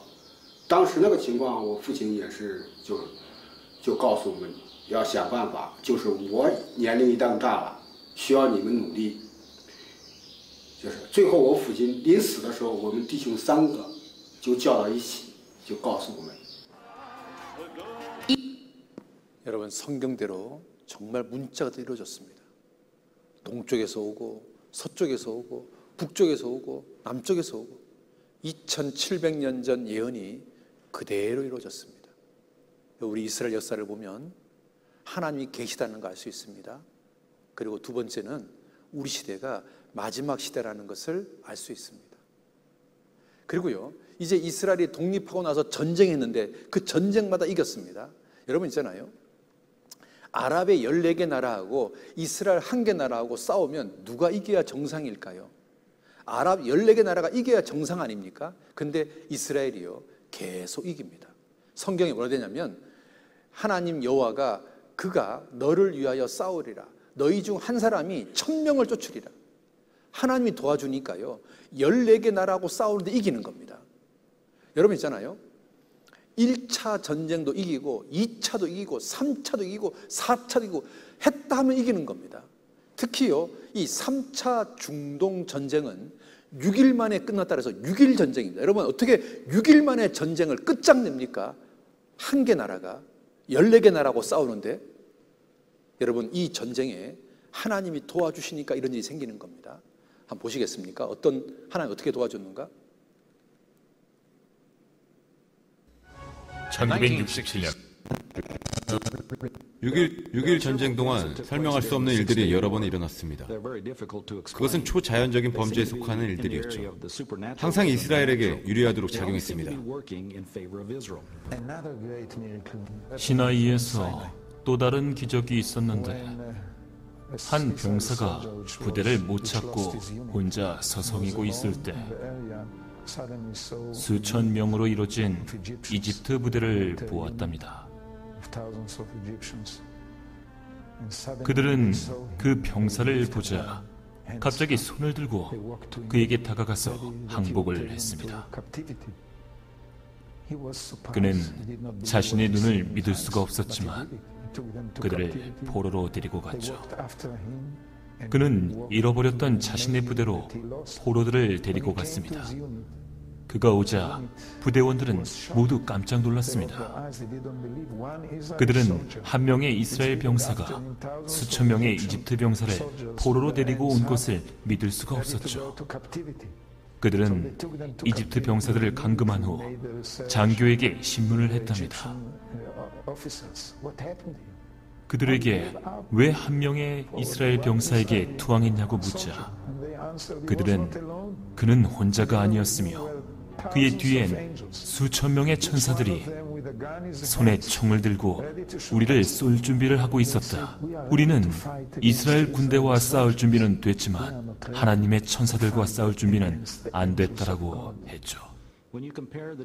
두 나라 군 그러니까 있잖아요. 14개 나라하고 한 나라하고 싸우는데 6일 만에 이기는 거예요. 이거는요, 인간적으로 볼 때는 도저히 불가능한데 이기는 거예요. 누가 도와줬냐면 하나님이 도와주는 거예요. 그러니까 6일 만에 이기는 거예요. 그러니까 하나님이요, 지금도 역사하고 계시는 겁니다. 자, 그 다음에 또 하나는 이겁니다. 이스라엘이 돌아올 때 열방의 재물을 가지고 돌아온다는 겁니다. 자, 같이 한번 읽어보겠습니다. 내 눈을 들어 사면을 보라. 무리가 다 모여 내게로 오느니라. 내 아들들은 원방에서 오겠고 내 딸들은 안기 올 것이라. 그때 내가 보고 희색을 바라며 내 마음이 놀라고 또 화창하리니 이는 바다의 풍부가 내게로 돌아오며 열방의 재물이 내게로 옵니다. 자, 지금 2700년 전 성경에 이스라엘 민족이 돌아올 때 빈손으로 오는 게 아니라 열방의 재물을 가지고 온다는 겁니다. 그러니까 흩어질 때는 죽음의 칼이 함께 있는데 돌아올 때는 돈이 함께 한다는 겁니다. 완전히 정반대가 되겠다는 겁니다. 그런데 이 예언대로 지금 이스라엘 민족이요 모든 분야에서 세계를 지배하고 있습니다. 자, 보세요. 지금 유대인은요, 한 1,800만 명쯤 됩니다. 이방인은 한 75억, 77억 정도 됩니다. 그러면 이 75억 중에서 1,800만 명은 0.2%밖에 안 됩니다. 그러니까 이방인들은 99.8%고 유대인은 0.2%밖에 안 됩니다. 지구상에. 그러면 여러분 있잖아요. 돈, 금융, 노벨상, 미국, 영화, 뭐 다이아몬드, 석유, 식량, 언론 이 모든 것들은 0.2%가 지배해야 맞습니까? 99.8%가 지배해야 맞습니까? 놀랍게도 99.8%가 지배해야 맞을 것 같은데 이 0.2%가 이 모든 분야를 지배하고 있습니다. 왜 이러냐 그 말입니다. 여러분 이유가 뭐냐면 하나님께서 배후에 그렇게 하겠다고 예언되어 있습니다. 성경에 뭐라 되냐면은 때가 되면 나 여호와가 속히 이루리라. 하나님 이렇게 해주겠다고 예언되어 있습니다. 그래서 하나님이 배후에 역사하니까 0.2%가 이 모든 분야를 지배하고 있다 그 말입니다. 자, 하나하나 확인해 보겠습니다. 자, 미국. 이 미국이라는 나라를 누가 지배하냐? 미국 의회 행정부 유대인 손해를 한다. 미국은 유대인이 지배한다 그 말입니다. 자, 보세요. 돈줄진 유대인, 미국의 정치를 주물럭한다. 에? 여러분, 이 에이펙이라는 게 유대인 로비 단체입니다. 이 유대인 로비 단체가 미국의 백악관과 미국의 국회를 딱 장악하고 있습니다. 미국은요, 대통령이 아무리 바뀌어도 유대인은 영원하다. 그러니까 미국은 유대인이 지배하는 나라다 그 말인 겁니다. 여러분, 이 트럼프의 그 눈과 귀라고 하는 그 사위가 쿠슈노라는 사람인데 이 사람이 유대인입니다. 그러니까 트럼프의 사위가 유대인입니다.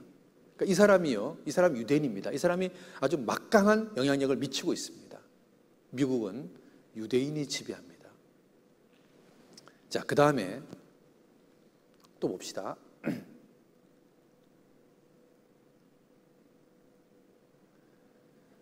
여기 보시면 그 작은 자가 천을 이루겠고 그 약한 자가 강구를 것이라. 때가 되면 나 여호와가 속히리라. 때가 되면 하나님께서요 강국이 되게 해주겠다 그 말입니다. 마지막 때가 되면 하나님께서 그렇게 해주겠다 그 말입니다. 그런데 갑자기 이스라엘 민족이요 독립하자마자 전 세계를 지배하고 있습니다. 자 미국을 지배하고 석유를 지배하고 식량을 지배하고 언론을 지배하고 금융을 지배하고 있습니다. 5대 곡물 메이저가 전 세계 식량의 80%를 지배하는데 이들이 다 누구냐? 유대인들입니다. 유대인들이 전 세계 식량을 지배하고 있습니다. 그리고요, 다이아몬드 88%를 독점합니다. 이게 1979년도 신문입니다. 최근 자료 보니까 91%를 유대인이 지배하고 있다고 되어 있습니다. 그 다음에요, 언론, 유대인이 장악하고 있습니다. 4대 통신사, 3대 방송국, 주요 신문사 다 유대인 겁니다. 영화사 유대인 겁니다. 여러분 파라마운트, 유니버셜, 디즈니 이거 전부 다 유대인 겁니다. 이게 전부 다. 유명한 상표 다 유대인 겁니다. 리바이스, 갭, 스타벅스 커피, 던킨 도나츠 다 유대인 겁니다. 여러분 구글, 페이스북 창업자도 유대인이고 그들을 돕는 두 여성도 유대인. 그러니까 지금 세계적인 회사가 다 유대인 겁니다. 전 세계 금융시장이 미국 뉴욕에 있는 월가에 종속되어 있는데 이 월가를 누가 지배하냐면 유대인 자본이 월가를 장악하고 있습니다. 그래서 역대 재무장관 이 사람 다 유대인들입니다. 어떤 기자가 물었습니다. 클린턴한테 세계에서 가장 힘센 사람은 누굽니까? 그랬더니 클린턴 대통령이 내가 아니라 중앙은행장이다 이렇게 말했습니다. 이 중앙은행장이 뭐 하는 거냐면 이 사람인데 이게 역대 연방준비이사회 의장들이 전부 다 유대인들입니다. 여기가 뭐 하는 곳이냐면 미국의 달러를 찍어내는 민간은행입니다. 미국의 달러를 찍어내는 민간은행, 은행장들이 다 유대인들인 겁니다. 그리고 이 은행의 최대 주주가 누구냐? 여기 보시면 록펠러하고 로스차일드 가문이 미국의 달러를 찍어내는 민간 은행의 최대 주주랍니다. 그러니까 미국의 달러를 찍어내는 은행의 최대 주주 두 사람이 다 유대인입니다. 록펠러도 유대인, 로스차일드도 유대인. 그러니까 미국의 달러를 누가 찍어내냐면 유대인이 찍어내고 있는 거예요. 그러니까 이런 겁니다. 미국 정부가요, 천억 달러가 필요하다. 그러면 유대인 은행에다가 이렇게 말합니다. 천억 달러 좀 찍어주세요. 라고 얘기합니다. 그러면 천억 달러에 해당되는 채권을 미 정부가 발행해서 유대인 은행에다가 줍니다. 그러면 그 채권을 받고 천억 달러를 찍어서 줍니다. 그리고 미 정부는 그 천억 달러에 대한 이자를 꼬박꼬박 냅니다.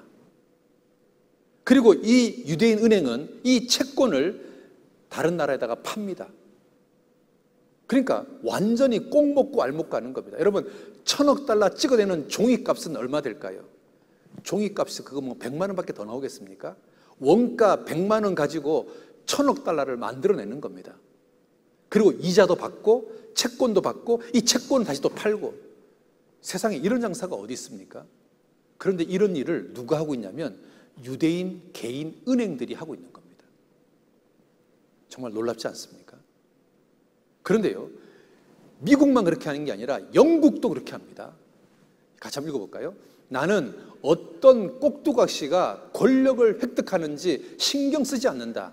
영국의 통화를 지배하는 자가 대영 제국을 지배하는 것이고 나는 영국의 통화를 지배한다. 로스차일드 집안. 이 로스차일드 집안이 영국의 통화를 발행하는 권한을 가지고 있습니다. 여러분 있잖아요. 일본 빚이요. 1경 2846조입니다. 미국 빚은 1경 1054조, 이탈리아는 2910조, 프랑스는 2036조, 영국은 2033조, 독일은 1943조, 그리스는 536조, 한국은 380조. 이게 2011년도 자료입니다. 자, 그런데 문제는요. 누가 빌려줄까요? 여러분, 누구한테 빌릴까요? 누가 이렇게 엄청난 돈을 빌려줄까요? 바로 유대인들이 빌려주는 겁니다. 그러니까 이 나라들은요, 유대인들한테 까불면 죽는 겁니다. 그러니까 전 세계 모든 나라가요, 유대인한테 까불면 나라 자체가 망해버리는 겁니다. 그러니까 못 까부는 거예요. 그래서 성경에요, 3,500년 전 성경에 이렇게 예언되어 있습니다. 이스라엘 민족 너희들은 여러 나라에 꾸어줄지라도 꾸지 않을 거다. 그렇게 됐습니다. 그리고요, 2700년 전 예언에는 너를 괴롭게 하던 자의 자손이 몸을 굽혀 내게 나오며 너를 멸시하던 모든 자가 내 발 아래 엎드리게 될 거다. 여러분 보세요. 너를 괴롭게 하던 자손이 누구냐면 이방인입니다. 그런데 그들이 이스라엘 민족들한테 몸을 굽혀서 나올 거다. 내 발 아래 엎드릴 거다. 그러니까 이방인이요. 유대인 발 아래 있다 그 말입니다. 자, 보세요. 이게 유대인 발이라면 이방인들은요, 유대인 발 아래 딱 있는 겁니다. 까불면 죽는 겁니다. 지금 전 세계 모든 나라가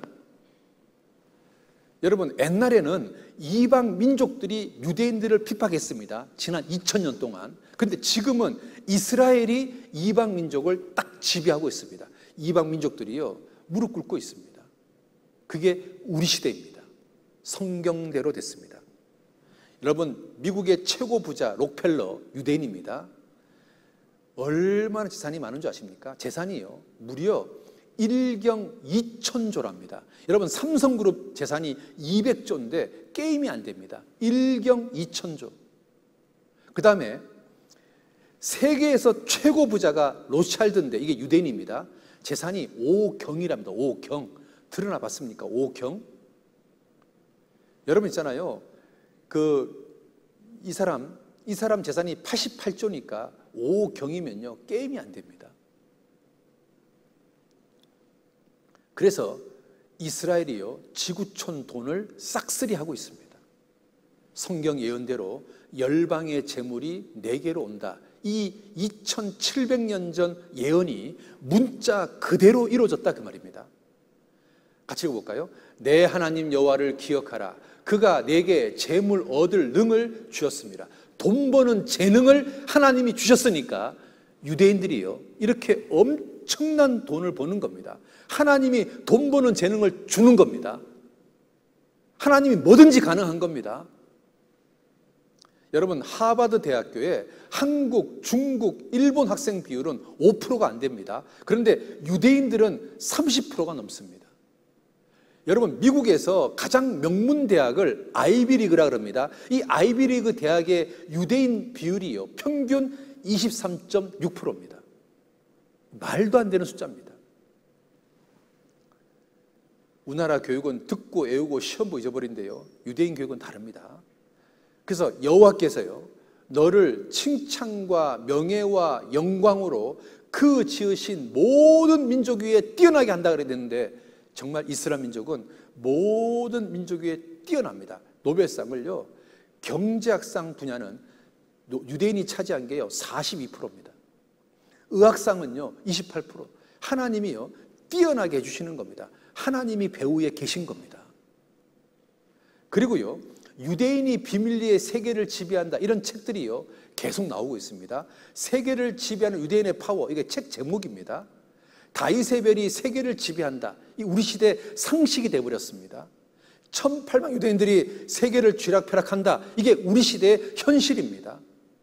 여호와께서 너로 머리가 되고 꼬리가 되지 않게 한다. 하나님이 그렇게 하시니까요. 유대인이 머리가 됐습니다. 세계를 지배하고 있습니다. 때가 되면 나 여호와가 속히 이루리라. 문자 그대로 됐습니다. 문자 그대로 됐습니다. 그래서요. 자 보세요. 이스라엘 민족이 불순종할 때는 꼬리가 됐습니다. 그래서 이방인들한테 지배를 당했습니다. 그래서 하나님이 너는 꼬리가 될 거다. 이방인은 머리가 될 거다라고 예언했는데 그대로 됐습니다. 이제 마지막 때가 되면 머리가 될 거라고 예언되어 있습니다. 너로 머리가 되고 꼬리가 되지 않게 할 거다. 이제 머리가 됐습니다. 그러니까 하나님은요, 한 민족을 꼬리가 되게 했다가 머리가 되게 할 수 있는 분입니다. 하나님은 뭐든지 가능한 겁니다. 하나님이 살아계십니다. 하나님이 정말로 계십니다. 그래서요, 정리를 해봅시다. 자, 예수님께서 세상 끝날의 징조를 일곱 가지 얘기했습니다. 가짜 예수가 많아진다 됐습니다. 전쟁이 많아진다 됐습니다. 기근, 지진, 온역 됐습니다. 죄가 많아진다 됐습니다. 지구가 오염된다 됐습니다. 복음이 온 세상에 전파된다 됐습니다. 이스라엘 회복된다 됐습니다. 다 됐습니다. 예수님 말씀하셨던 그 징조가 우리 시대에 100% 이루어졌습니다. 그런데 예수님이 뭐라고 말했냐면 이렇게 말했습니다. 같이 한번 읽어볼까요? 이 모든 일을 보거든 인자가 가까이 곧 문 앞에 이른 줄 알라. 이 모든 일을 보거든 예수님께서 문 앞에 이르렀다. 예수님의 재림이 임박하다. 우리는 이 모든 일을 보고 있습니다. 징조가 100% 이루어진 시대에 살고 있는 겁니다. 예수님의 재림이 문 앞에 이르렀다. 임박하다 그 말이다. 임박하다. 우리는 지금 임박한 시대에 살고 있는 겁니다. 여러분 있잖아요. 유대인들이 돌아가는 것은 예수 재림의 징조다 이렇게 말합니다. 현 이스라엘을 보면 예수 재림이 확신이 든다 이렇게 말합니다. 우리 시대는 정말 얼마 남지 않은 시대에 살고 있는 겁니다. 여러분 대지진이 터지면 두꺼비들은요 3일 전에 미리 대피를 한답니다. 희한하죠. 그러니까 지진이 터지면 사람은 죽는데요. 짐승은 안 죽습니다. 왜? 미리 알고 다 대피를 합니다. 하나님께서요. 우리에게 이렇게 말합니다. 같이 봅시다. 외식하는 자여 너희가 천지의 기상은 분별할 줄 알면서 어찌 이 시대는 분변치 못하느냐. 날이 비가 올 것은 알면서 왜 이 시대가 마지막 시대인 것은 모르냐? 예수님이 이렇게 말씀하신 겁니다. 우리 시대는 정말 끝날이 임박한 시대가 되었던 겁니다. 슬기로운 자는 재앙을 보면 피합니다. 슬기로운 자는요, 이 징조를 보면 거듭납니다. 구원받습니다. 같이 읽겠습니다. 이러므로 너희도 예비하고 있으라. 생각지 않은 때에 인자가 오리라. 우리 예비하고 있어야 됩니다. 정말 하나님 만날 준비하고 있어야 되는 겁니다. 자, 이제 우리가 이제 휴거되고 나서 그 다음에 어떤 일이 생기냐면 유럽을 중심으로 10개의 나라가 유럽 합중국을 만들게 됩니다. 그 유럽 합중국의 통합 대통령들 중에서 한 사람이 7년 동안 세상을 다스리게 될 겁니다. 이 사람을 적 그리스도라고 합니다. 이 적 그리스도가 사람들한테 666표를 받게 할 겁니다. 그리고 7년 대환란 끝에 핵전쟁이 터집니다. 그리고 예수님이 재림하게 됩니다. 이게 남아있는 성경의 예언들입니다. 자, 다시 정리해 보겠습니다. 자, 먼저 그리스도인들이 휴거됩니다. 그리고 유럽 합중국을 중심으로 해서 적그리스도가 등장합니다. 그리고 성전을 건축하고 자기를 하나님이라고 말할 겁니다. 그리고 모든 사람들한테 666표를 받게 할 겁니다. 그리고 핵전쟁이 나고 예수님이 재림하게 될 겁니다. 자, 그런데 유럽에서 10개의 나라가 중심이 돼서 한 나라가 됐습니다. 성경에요. 내가 보니 바다에서 세상에서 한 짐승 적그리스도가 나오는데 뿌리 열이요 열 나라가 중심이 돼서 한 나라가 된다 그 말입니다. 여러분 있잖아요. 유럽이 10개의 나라가 한 나라가 되는 겁니다. 그래서 유럽이 하나가 되려면 경제가 하나가 돼야 되는데 화폐가 하나가 됐습니다. 그리고 정치가 하나가 돼야 되는데 단일 대통령이 선출됐습니다. 이게 유로 화폐입니다. 그러니까 유럽의 나라들은 이 동일한 화폐를 씁니다. 그리고 강력한 대통령제를 도입한다고 했는데 초 대통령이 등장했습니다. 성경대로 된 겁니다. 이제 이 유럽의 통합 대통령들 중에서 한 사람이 아마도 적그리스도가 될 겁니다. 이 사람이 이 세상의 문제, 이 코로나 문제를 싹 해결하고 7년 동안 세상을 다스리는 통치자가 될 수도 있습니다. 이, 이 사람이 한 말 한번 들어보시죠. EU는 원래 10개의 회원국으로 구성된 서부 유럽 연합입니다. EU가 조직된 이후로 연관된 회원국이 28개국으로 늘었지만 그래도 정 회원국은 오직 10개 나라입니다. 나머지 나라는 그저 파트너에 불과합니다. 10개의 나라가 정회원 국가입니다. 성경대로 됐습니다. 그 다음에 통합 대통령도 나왔습니다. 유럽연합의 초대 대통령이 탄생했습니다. 헤르만 빈 롬푸이 벨기에 총리가 선... 예, 대통령도 나왔습니다. 성경대로 다 되는 겁니다. 이제 이 적그리스도가 어떤 일을 하냐면 화폐 개혁을 일으킵니다. 그래서 모든 사람들한테 표를 받게 합니다. 이 표를 받아야만 물건을 살 수 있고 팔 수 있게 되는 겁니다. 그래서 있잖아요. 이제 월급이요. 통장으로 들어오는 게 아니라 이 칩 속으로 들어오는 겁니다. 그러면 이 칩 속에 있는 돈을 가지고 내가 경제기인을 하는 겁니다. 이렇게 되면 어떤 일이 가능해지냐면 한 사람이 전 세계 모든 사람을 통제하고 지배할 수 있게 되는 겁니다. 적그리스도가 마지막에 이렇게 하겠다는 겁니다. 근데 문제는요. 2000년 전 성경에 이렇게 예언되어 있다는 겁니다. 자, 보시죠. 같이 한번 읽어봅시다. 저가 모든 자, 그 오른손이나 이마에 표를 받게 하고 누구든지 이 표를 가진 자 외에는 매매를 못하게 하니 이 표는 곧 짐승의 이름이나 그 이름의 수라. 지혜가 여기 있으니 총명이 있는 자는 그 짐승의 수를 세어보라. 그 수는 사람의 수니 666이니라. 이 저가가 누구냐면 적그리스도입니다. 적그리스도가 모든 사람에게 오른손이나 이마에 표를 받게 한다. 이 표가 뭐 하는 거냐? 매매, 사고 파는 표다 그 말입니다. 그리고 이 표가 666하고 관계가 있다 그 말입니다. 여러분, 우린 지금 물건을 뭐 가지고 사고 파냐면 돈이나 카드를 가지고 물건을 사고 팝니다. 그런데 이 돈은요, 위조 지폐가 만들어지니까 문제가 됩니다. 그리고 카드는요, 종류가 너무 많아서 귀찮고요. 잃어버리면 심각해집니다. 그래서 많은 사람들이요, 이 다양한 종류의 카드를 한 장으로 통합해서 우리 몸에다가 좀 받게 달라, 잊어버리지 않게 달라고 요구합니다. 그래서 사람 몸에 칩을 딱 박으면 이제 카드가 필요 없습니다. 돈이 필요 없습니다. 잃어버릴 염려가 없게 됩니다. 굉장히 편리하게 됩니다. 여러분 있잖아요.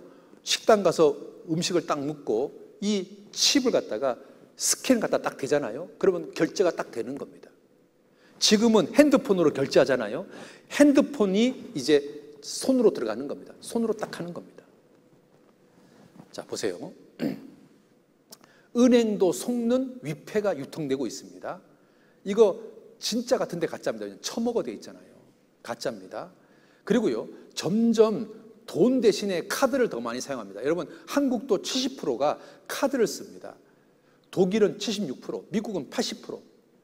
그래서요, 현금 없는 사회를 지금 추진합니다. 이스라엘, 덴마크, 프랑스, 스웨덴. 그래서요, 덴마크 중앙은행은 동전 지폐 생산을 중단했답니다. 이제 화폐를 없애버리겠다는 겁니다. 스웨덴은요, 이미 99%가 현금 없는 세상이 됐답니다. 스웨덴은. 그래서요, 이 사람이 애플 회장이 뭐라 했냐면, 다음 세대에 태어나는 아이들은 돈이 무엇인지 모르게 될 거다면 돈이 사라지는 세상이 된다 그 말입니다. 그래서 돈이 카드로 이제 카드에서 칩으로 바뀌게 된다 그 말입니다. 인간 아이디 카드 시대가 온다. 여러분 칩을 갖다가 사람 몸에 딱 박으면 신분증, 운전면허증, 카드, 여권이 사라지게 된다 그 말입니다. 이렇게 작은 칩을 사람 몸에다가 박는 겁니다. 그런데 어디에 박냐? 오른손과 이마에 박해 보세요. 이 손에 지금 박았지 않습니까? 이렇게 표시가 있지 않습니까? 오른손 이마에 박는 겁니다. 자, 초등학교 5학년 교과서에 미래 화폐가 뭐냐? 이마에나 손에 전자칩을 달고 바코드로 처리하는 게 미래화폐다. 여러분, 바코드가요, 이게요, 666 시스템입니다. 그러니까 이마에나 손에 칩을 달고 바코드로 돼 있다. 이게 미래화폐다. 이렇게 돼 있지 않습니까? 그런데 잘, 잘 보세요. 오른손, 이마, 돈, 666, 바코드, 칩 똑같지 않습니까? 다시 한번 보세요. 이마, 손, 바코드 666, 바코드가 666입니다. 오른손, 이마, 표, 칩, 666, 바코드 똑같지 않습니까? 그러니까 초등학교 5학년 교과서에 나오는 내용이 2000년 전 성경에 이미 나와 있다는 겁니다. 왜 오른손이냐면 오른손 정맥 구조가 다르기 때문에 그렇습니다. 비밀컬하는 겁니다. 왜 이마냐면 홍채가 다르기 때문에 비밀 이게 무슨 말이냐면 보세요. 요 칩에다가요. 나만의 오른손 정맥 코드를 집어넣는 겁니다. 그러면 깡패가요. 이 칩을 빼가지고 자기 손에 갖다 껴도 물건을 못 삽니다. 왜 못 사냐면 이 칩 속에 들어있는 오른손 정맥 코드하고 이 깡패 오른손 정맥 코드가 틀리기 때문에 물건 거래를 못 합니다. 그 다음에 이마에 박으면 이 칩에다가요. 홍채 코드를 집어넣는 겁니다. 그러면 깡패가요, 이 칩을 빼가지고 자기 이마 갖다 껴도요, 물건을 못 삽니다. 왜냐하면 깡패 홍채하고 이 칩 속에 들어있는 홍채 코드가 일치하지 않기 때문에 물건을 못 사는 겁니다. 여러분 있잖아요. 오른손 정맥 코드가 다 틀립니다. 그리고 홍채가 다 틀립니다. 사람마다 다 틀리게 생겼습니다.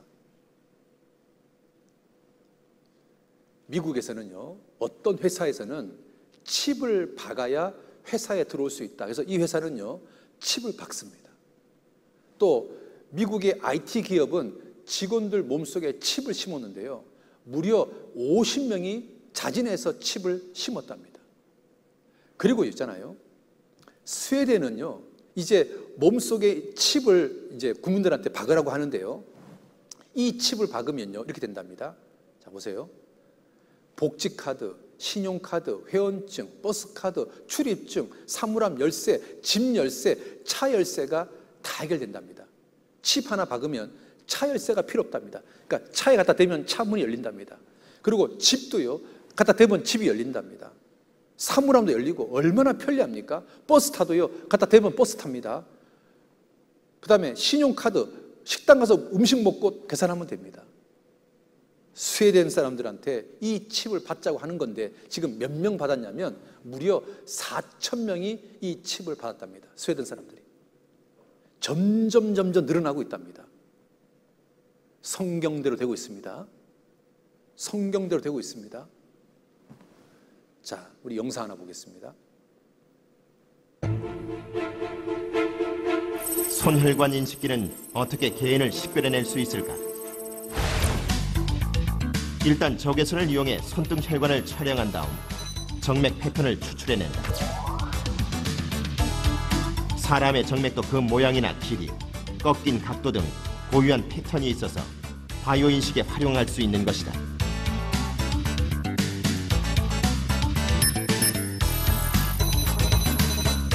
이 정맥 패턴을 데이터베이스화해 개인을 식별하는 기준으로 삼는 것이 손등 혈관 인식 기술이다.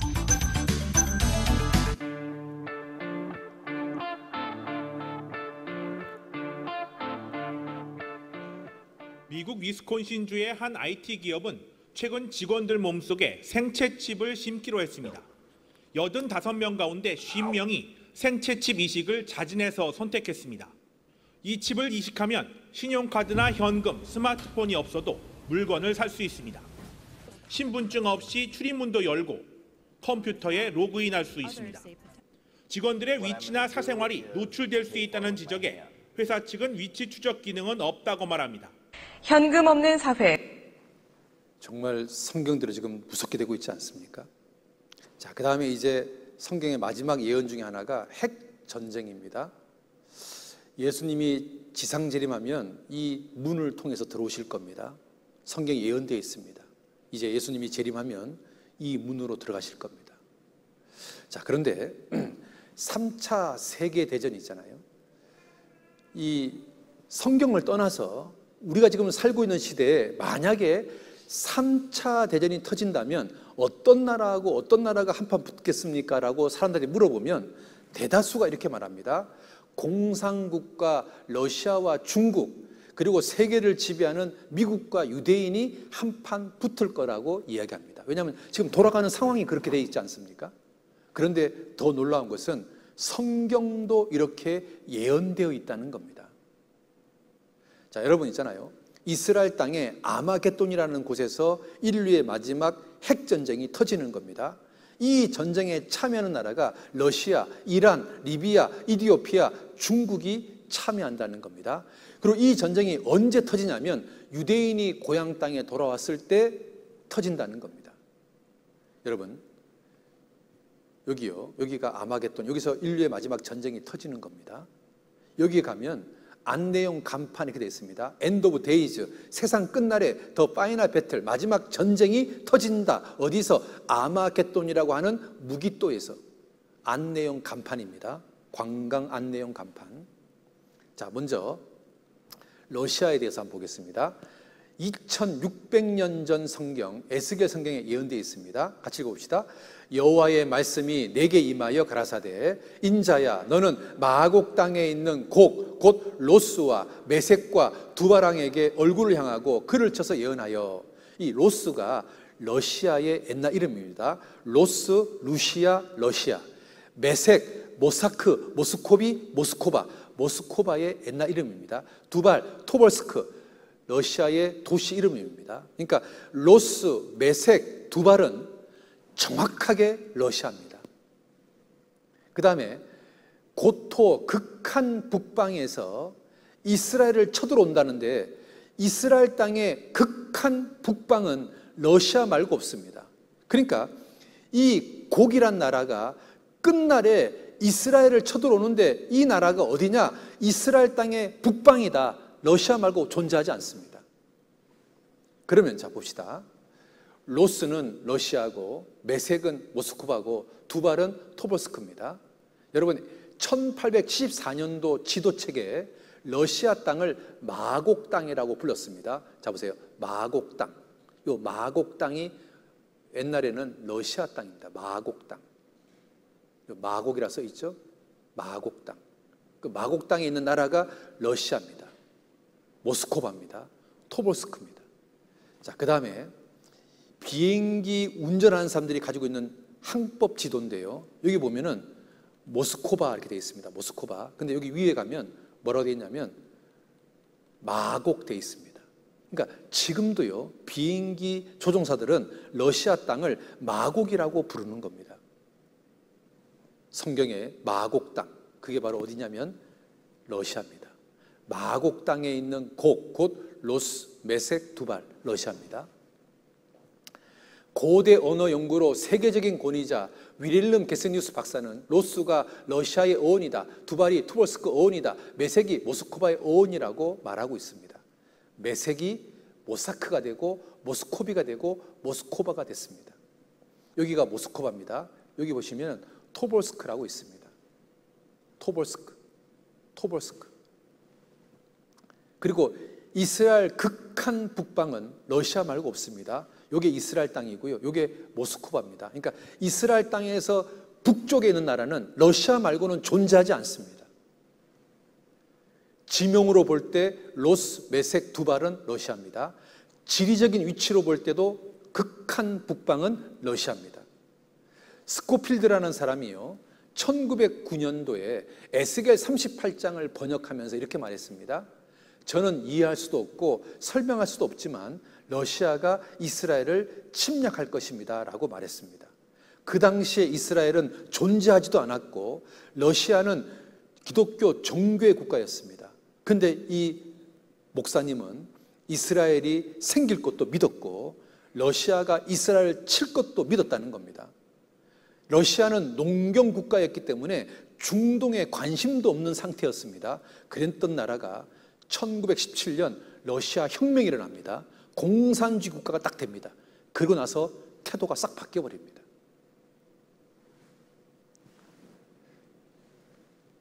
자, 영상 한번 볼게요. 에스겔 예언자는 마지막 날에 고기 이끄는 많은 군대가 북방에서 나타날 것이라고 경고했습니다. 대부분의 학자들은 이 침략군이 러시아가 이끄는 연합군이라는데 의견을 같이 하고 있습니다. 고대 매색은 오늘날의 모스크바를 이르고 고대의 두발은 오늘날의 토볼스크를 말합니다. 자, 그런데 왜 러시아가 이스라엘을 쳐들어가냐? 자, 이유가요. 군사력은 세계 최강인데 경제가 너무 안 좋습니다. 러시아가요. 하루 두 끼 때우기도 힘들답니다. 러시아 GDP가요. 마이너스 4.6%가 된답니다. 여러분 있잖아요. 경제 성장률이 마이너스 된다. 이 끔찍한 이야기잖아요. 우리나라가 이제 좀 있으면 경제가 하반기에 마이너스가 된다고 그런다 그러잖아요. 하반기에 되면 실업자가 엄청나게 많이 생길 거라고 얘기하잖아요. 코로나가 계속 생긴다면 대기업이요. 한 3분의 1 정도 직원을 자른다고 얘기하고 있잖아요. 그런데 우리는 아직 경험해 보지 않은 이야기입니다. 근데 러시아는 이미 경제가요. 마이너스로 막 치닫는 겁니다. 그러니까 핵무기는 8,500개가 있는데 경제가 너무너무 안 좋은 겁니다. 그러니까 세계를 지배하는 이스라엘을 칠 수밖에 없는 겁니다. 그리고요, 러시아 사람들이요, 유대인들을 굉장히 싫어합니다. 그러니까 모든 분위기가 성경대로 차곡차곡 되고 있는 겁니다. 자, 그 다음에 또 하나는 중국입니다. 여러분 있잖아요. 2000년 전 성경에 이 만만이면 2억입니다. 2억의 군대가 동쪽에서 온다. 여러분, 이스라엘 동쪽은 아시아입니다. 아시아 국가에 2억의 군대를 동원할 수 있는 나라가 있을까요? 일본, 북한, 한국, 중국 말고는 존재하지 않습니다. 더 놀라운 것은요, 중국이요, 유사시에 동원할 수 있는 군대 숫자가 해필이면 딱 2억입니다. 여러분 있잖아요. 이 요한계시록에 기록될 당시에 2000년 전 인구가 2억이랍니다. 그런데 군대의 숫자가 그것도 동쪽에서 오는 군대의 숫자가 2억이다. 이것은요. 사람이 쓸 수 있는 말이 아닙니다. 그런데 이대로 됐습니다. 자 보세요. 중국이요. 2억의 군대를 동원할 수 있답니다. 중국군 전쟁 발발 시 병력 2억 명 동원 가능. 아니 이왕 뻥칠 거 한 3억 하지요. 한 5억 하지요. 그런데 왜 해필이면 2억일까요? 여러분 이게 있잖아요. 성경대로 되는 겁니다. 그리고 중국과 러시아는요 언제나 같은 편입니다. 그리고 있잖아요.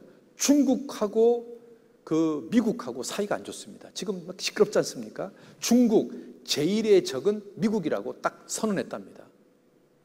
그래서요, 중국은 미국과 전쟁을 항상 준비하고 있답니다. 지금 세상, 우리 돌아가는 세상이요, 성경대로 지금 되고 있습니다. 자, 그 다음에 유대인은요, 이 모든 것을 알고 있기 때문에 준비를 하고 있는 겁니다. When will Russia invade Israel? 언제 러시아가 이스라엘을 침공할까? 성경은요, 그 핵전쟁이 유대인들이 고향 땅에 돌아왔을 때 핵전이 터진다 그러니까 유대인들은요, 이 준비를 하는 겁니다.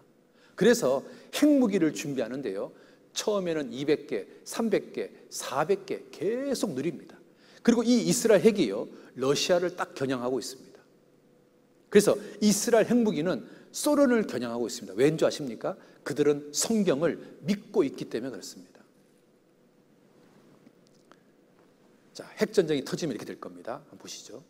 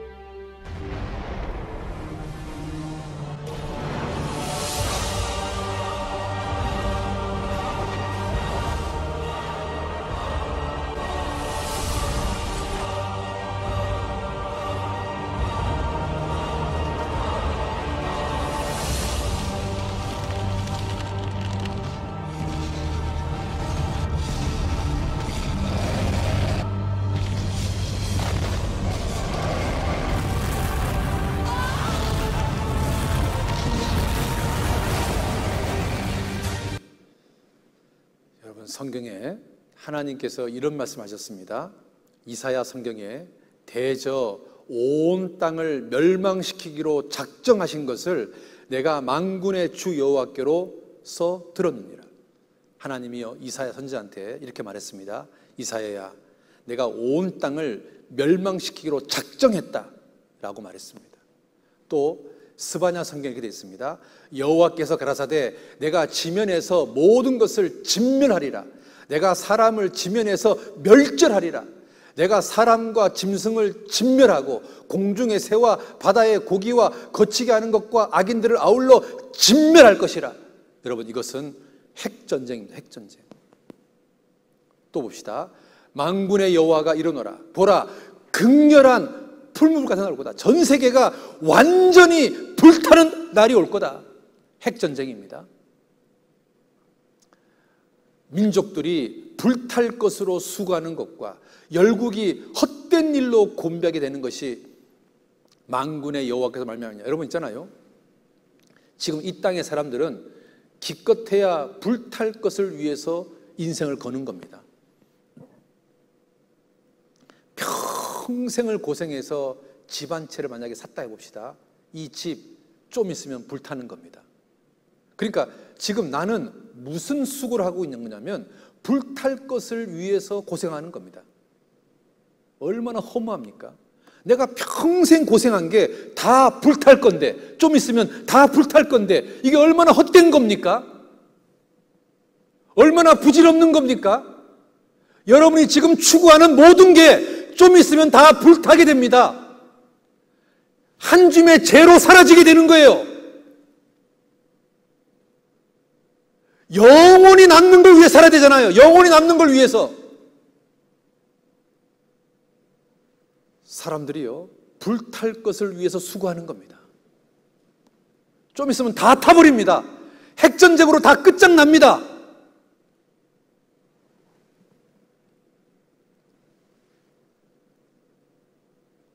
보세요. 에스겔 36장은 땅이 회복될 것에 대한 예언입니다. 에스겔 37장은 민족이 회복될 것에 대한 예언입니다. 에스겔 38장은 핵 전쟁에 대한 예언입니다. 왜 그런 줄 아십니까? 이스라엘 민족 회복이 마지막 때가 되기 때문에 순서 이렇게 되는 겁니다. 그런데 우리 시대는요, 36장과 37장이 모두 이루어진 시대에 살고 있습니다. 땅이 회복됐고 이스라엘 민족이 회복됐습니다. 이제 남은 것은 핵전쟁만 남았습니다. 그러면 에스겔 38장은 이루어질까요? 안 이루어질까요?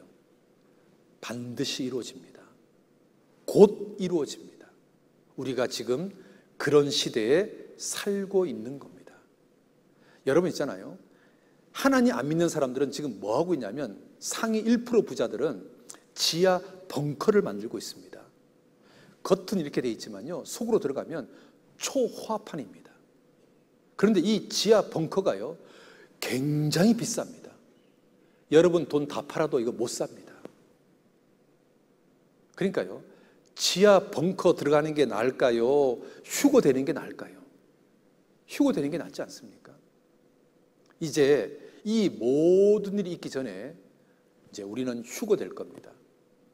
자, 같이 한번 읽어봅시다.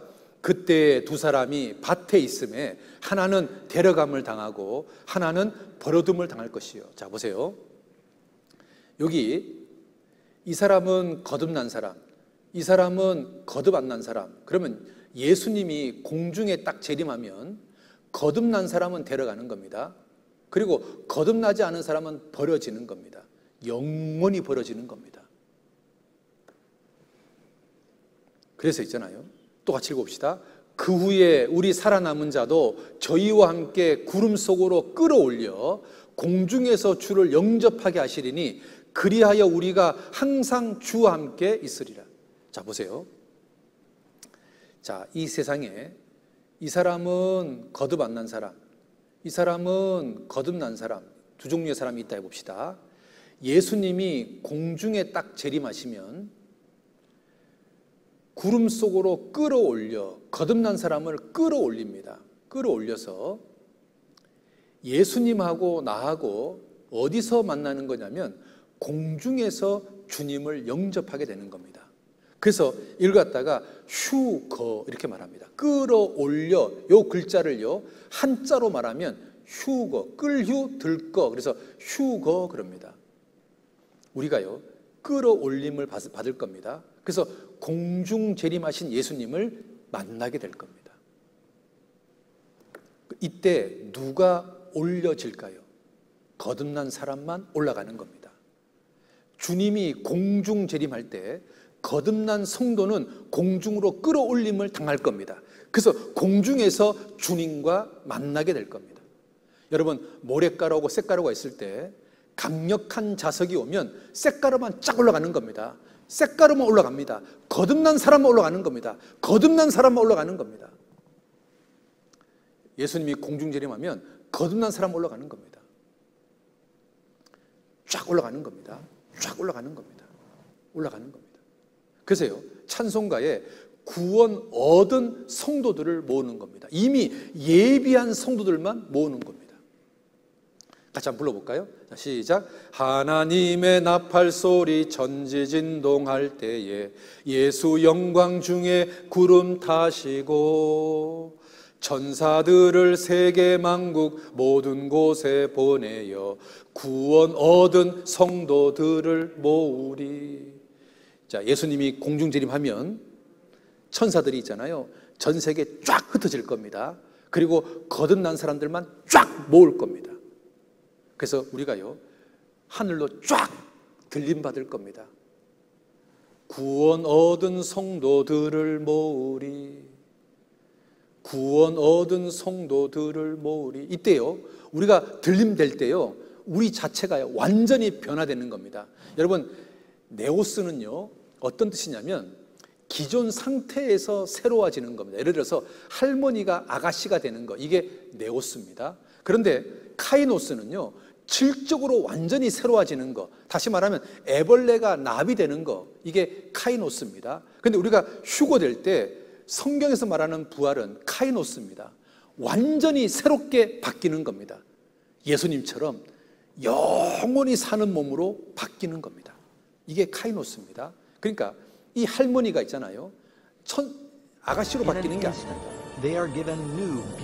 이런 걸 말하는 게 아니라 마치 이 송충이가요. 나비처럼 바뀌는 거 완전히 새로운 차원의 변화가 일어나는 겁니다.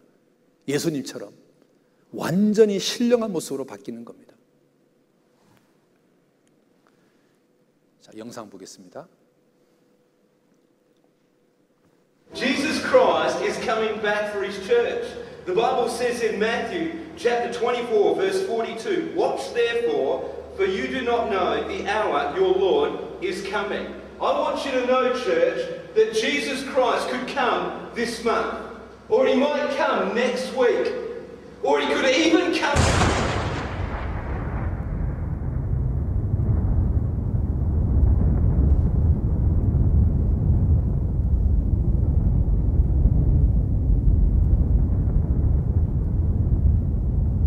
자, 보세요.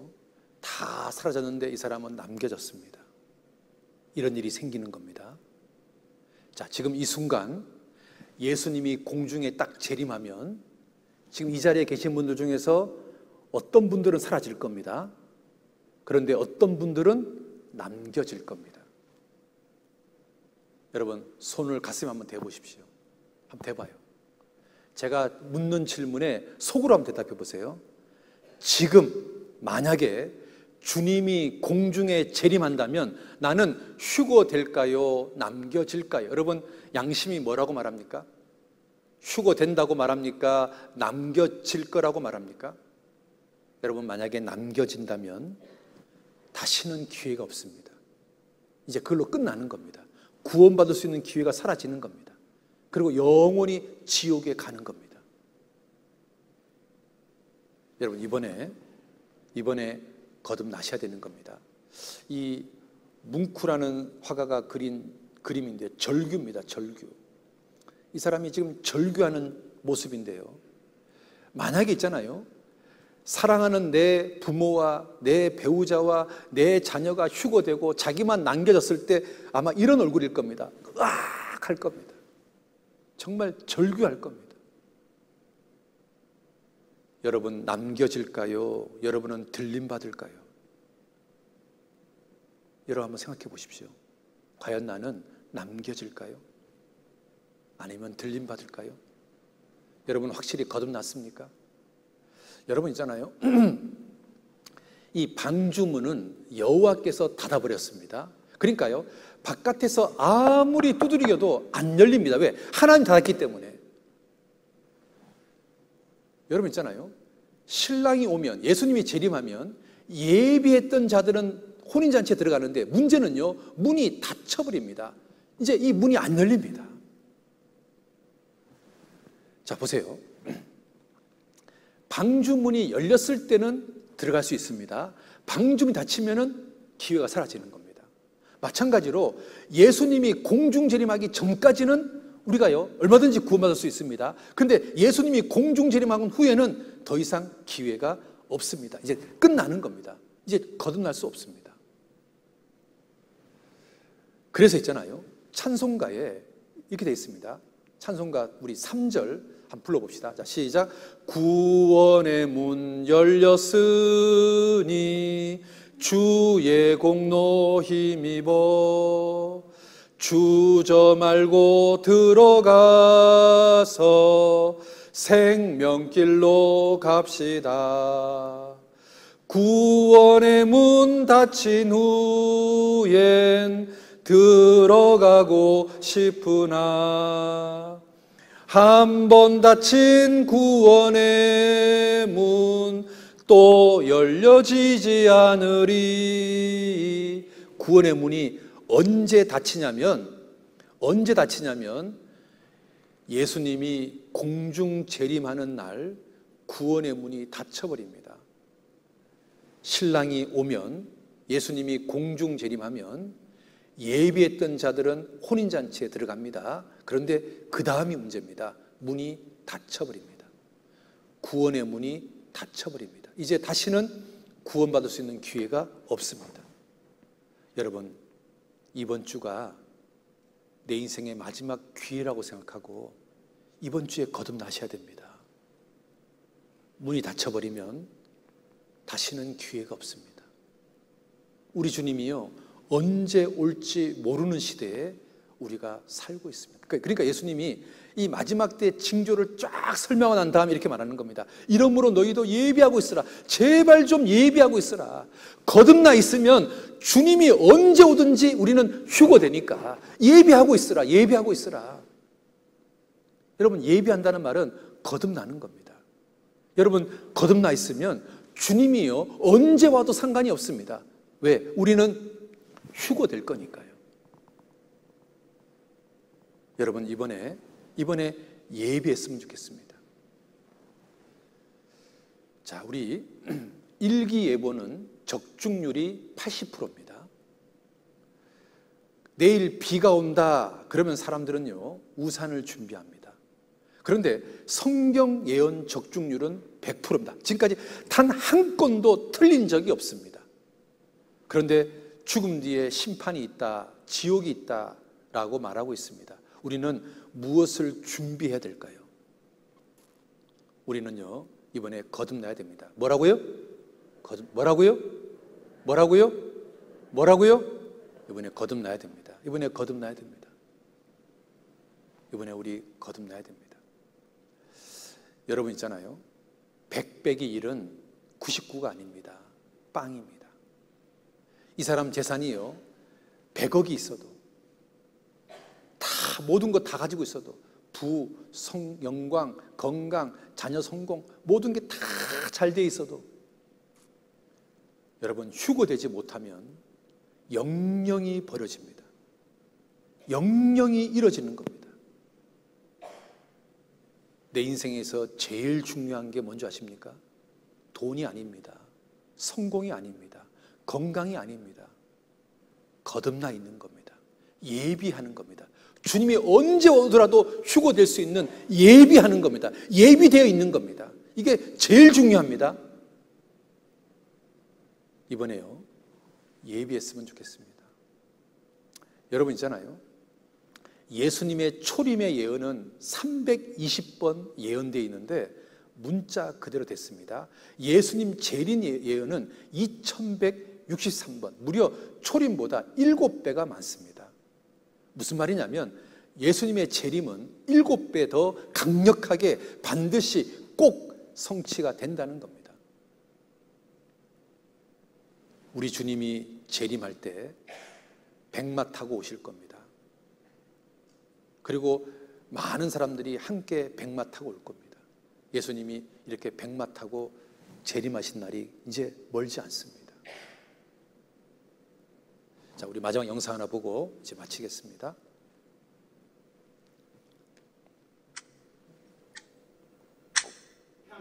I want you to know, church, that Jesus Christ could come this month. Come.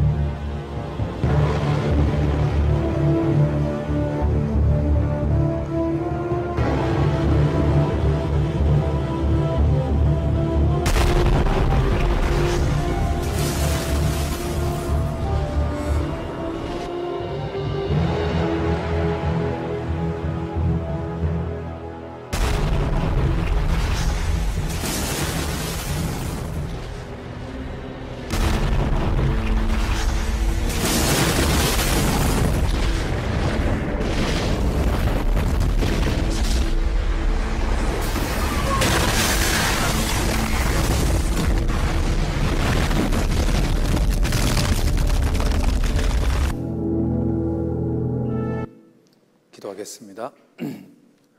아버지 하나님, 마지막 시대에 되어질 예언들을 오늘 이 시간 살펴봤습니다. 3,500년 전, 2,700년 전, 2,000년 전에 예언된 말씀들이 우리 시대에 문자 그대로 성취되는 것을 통해서 하나님이 살아계심을 알 수 있었습니다. 그리고 우리가 살고 있는 이 시대가 마지막 시대라는 것 또한 배웠습니다. 이번에 성경 배우시는 모든 분들 참으로 이 거듭나는 문제가 내 인생에서 가장 시급하고 중요한 문제라는 것을 깨닫게 해주시고 이번 주에 다 거듭날 수 있도록 은혜를 베풀어 주시옵소서 예수님 이름으로 기도드렸습니다.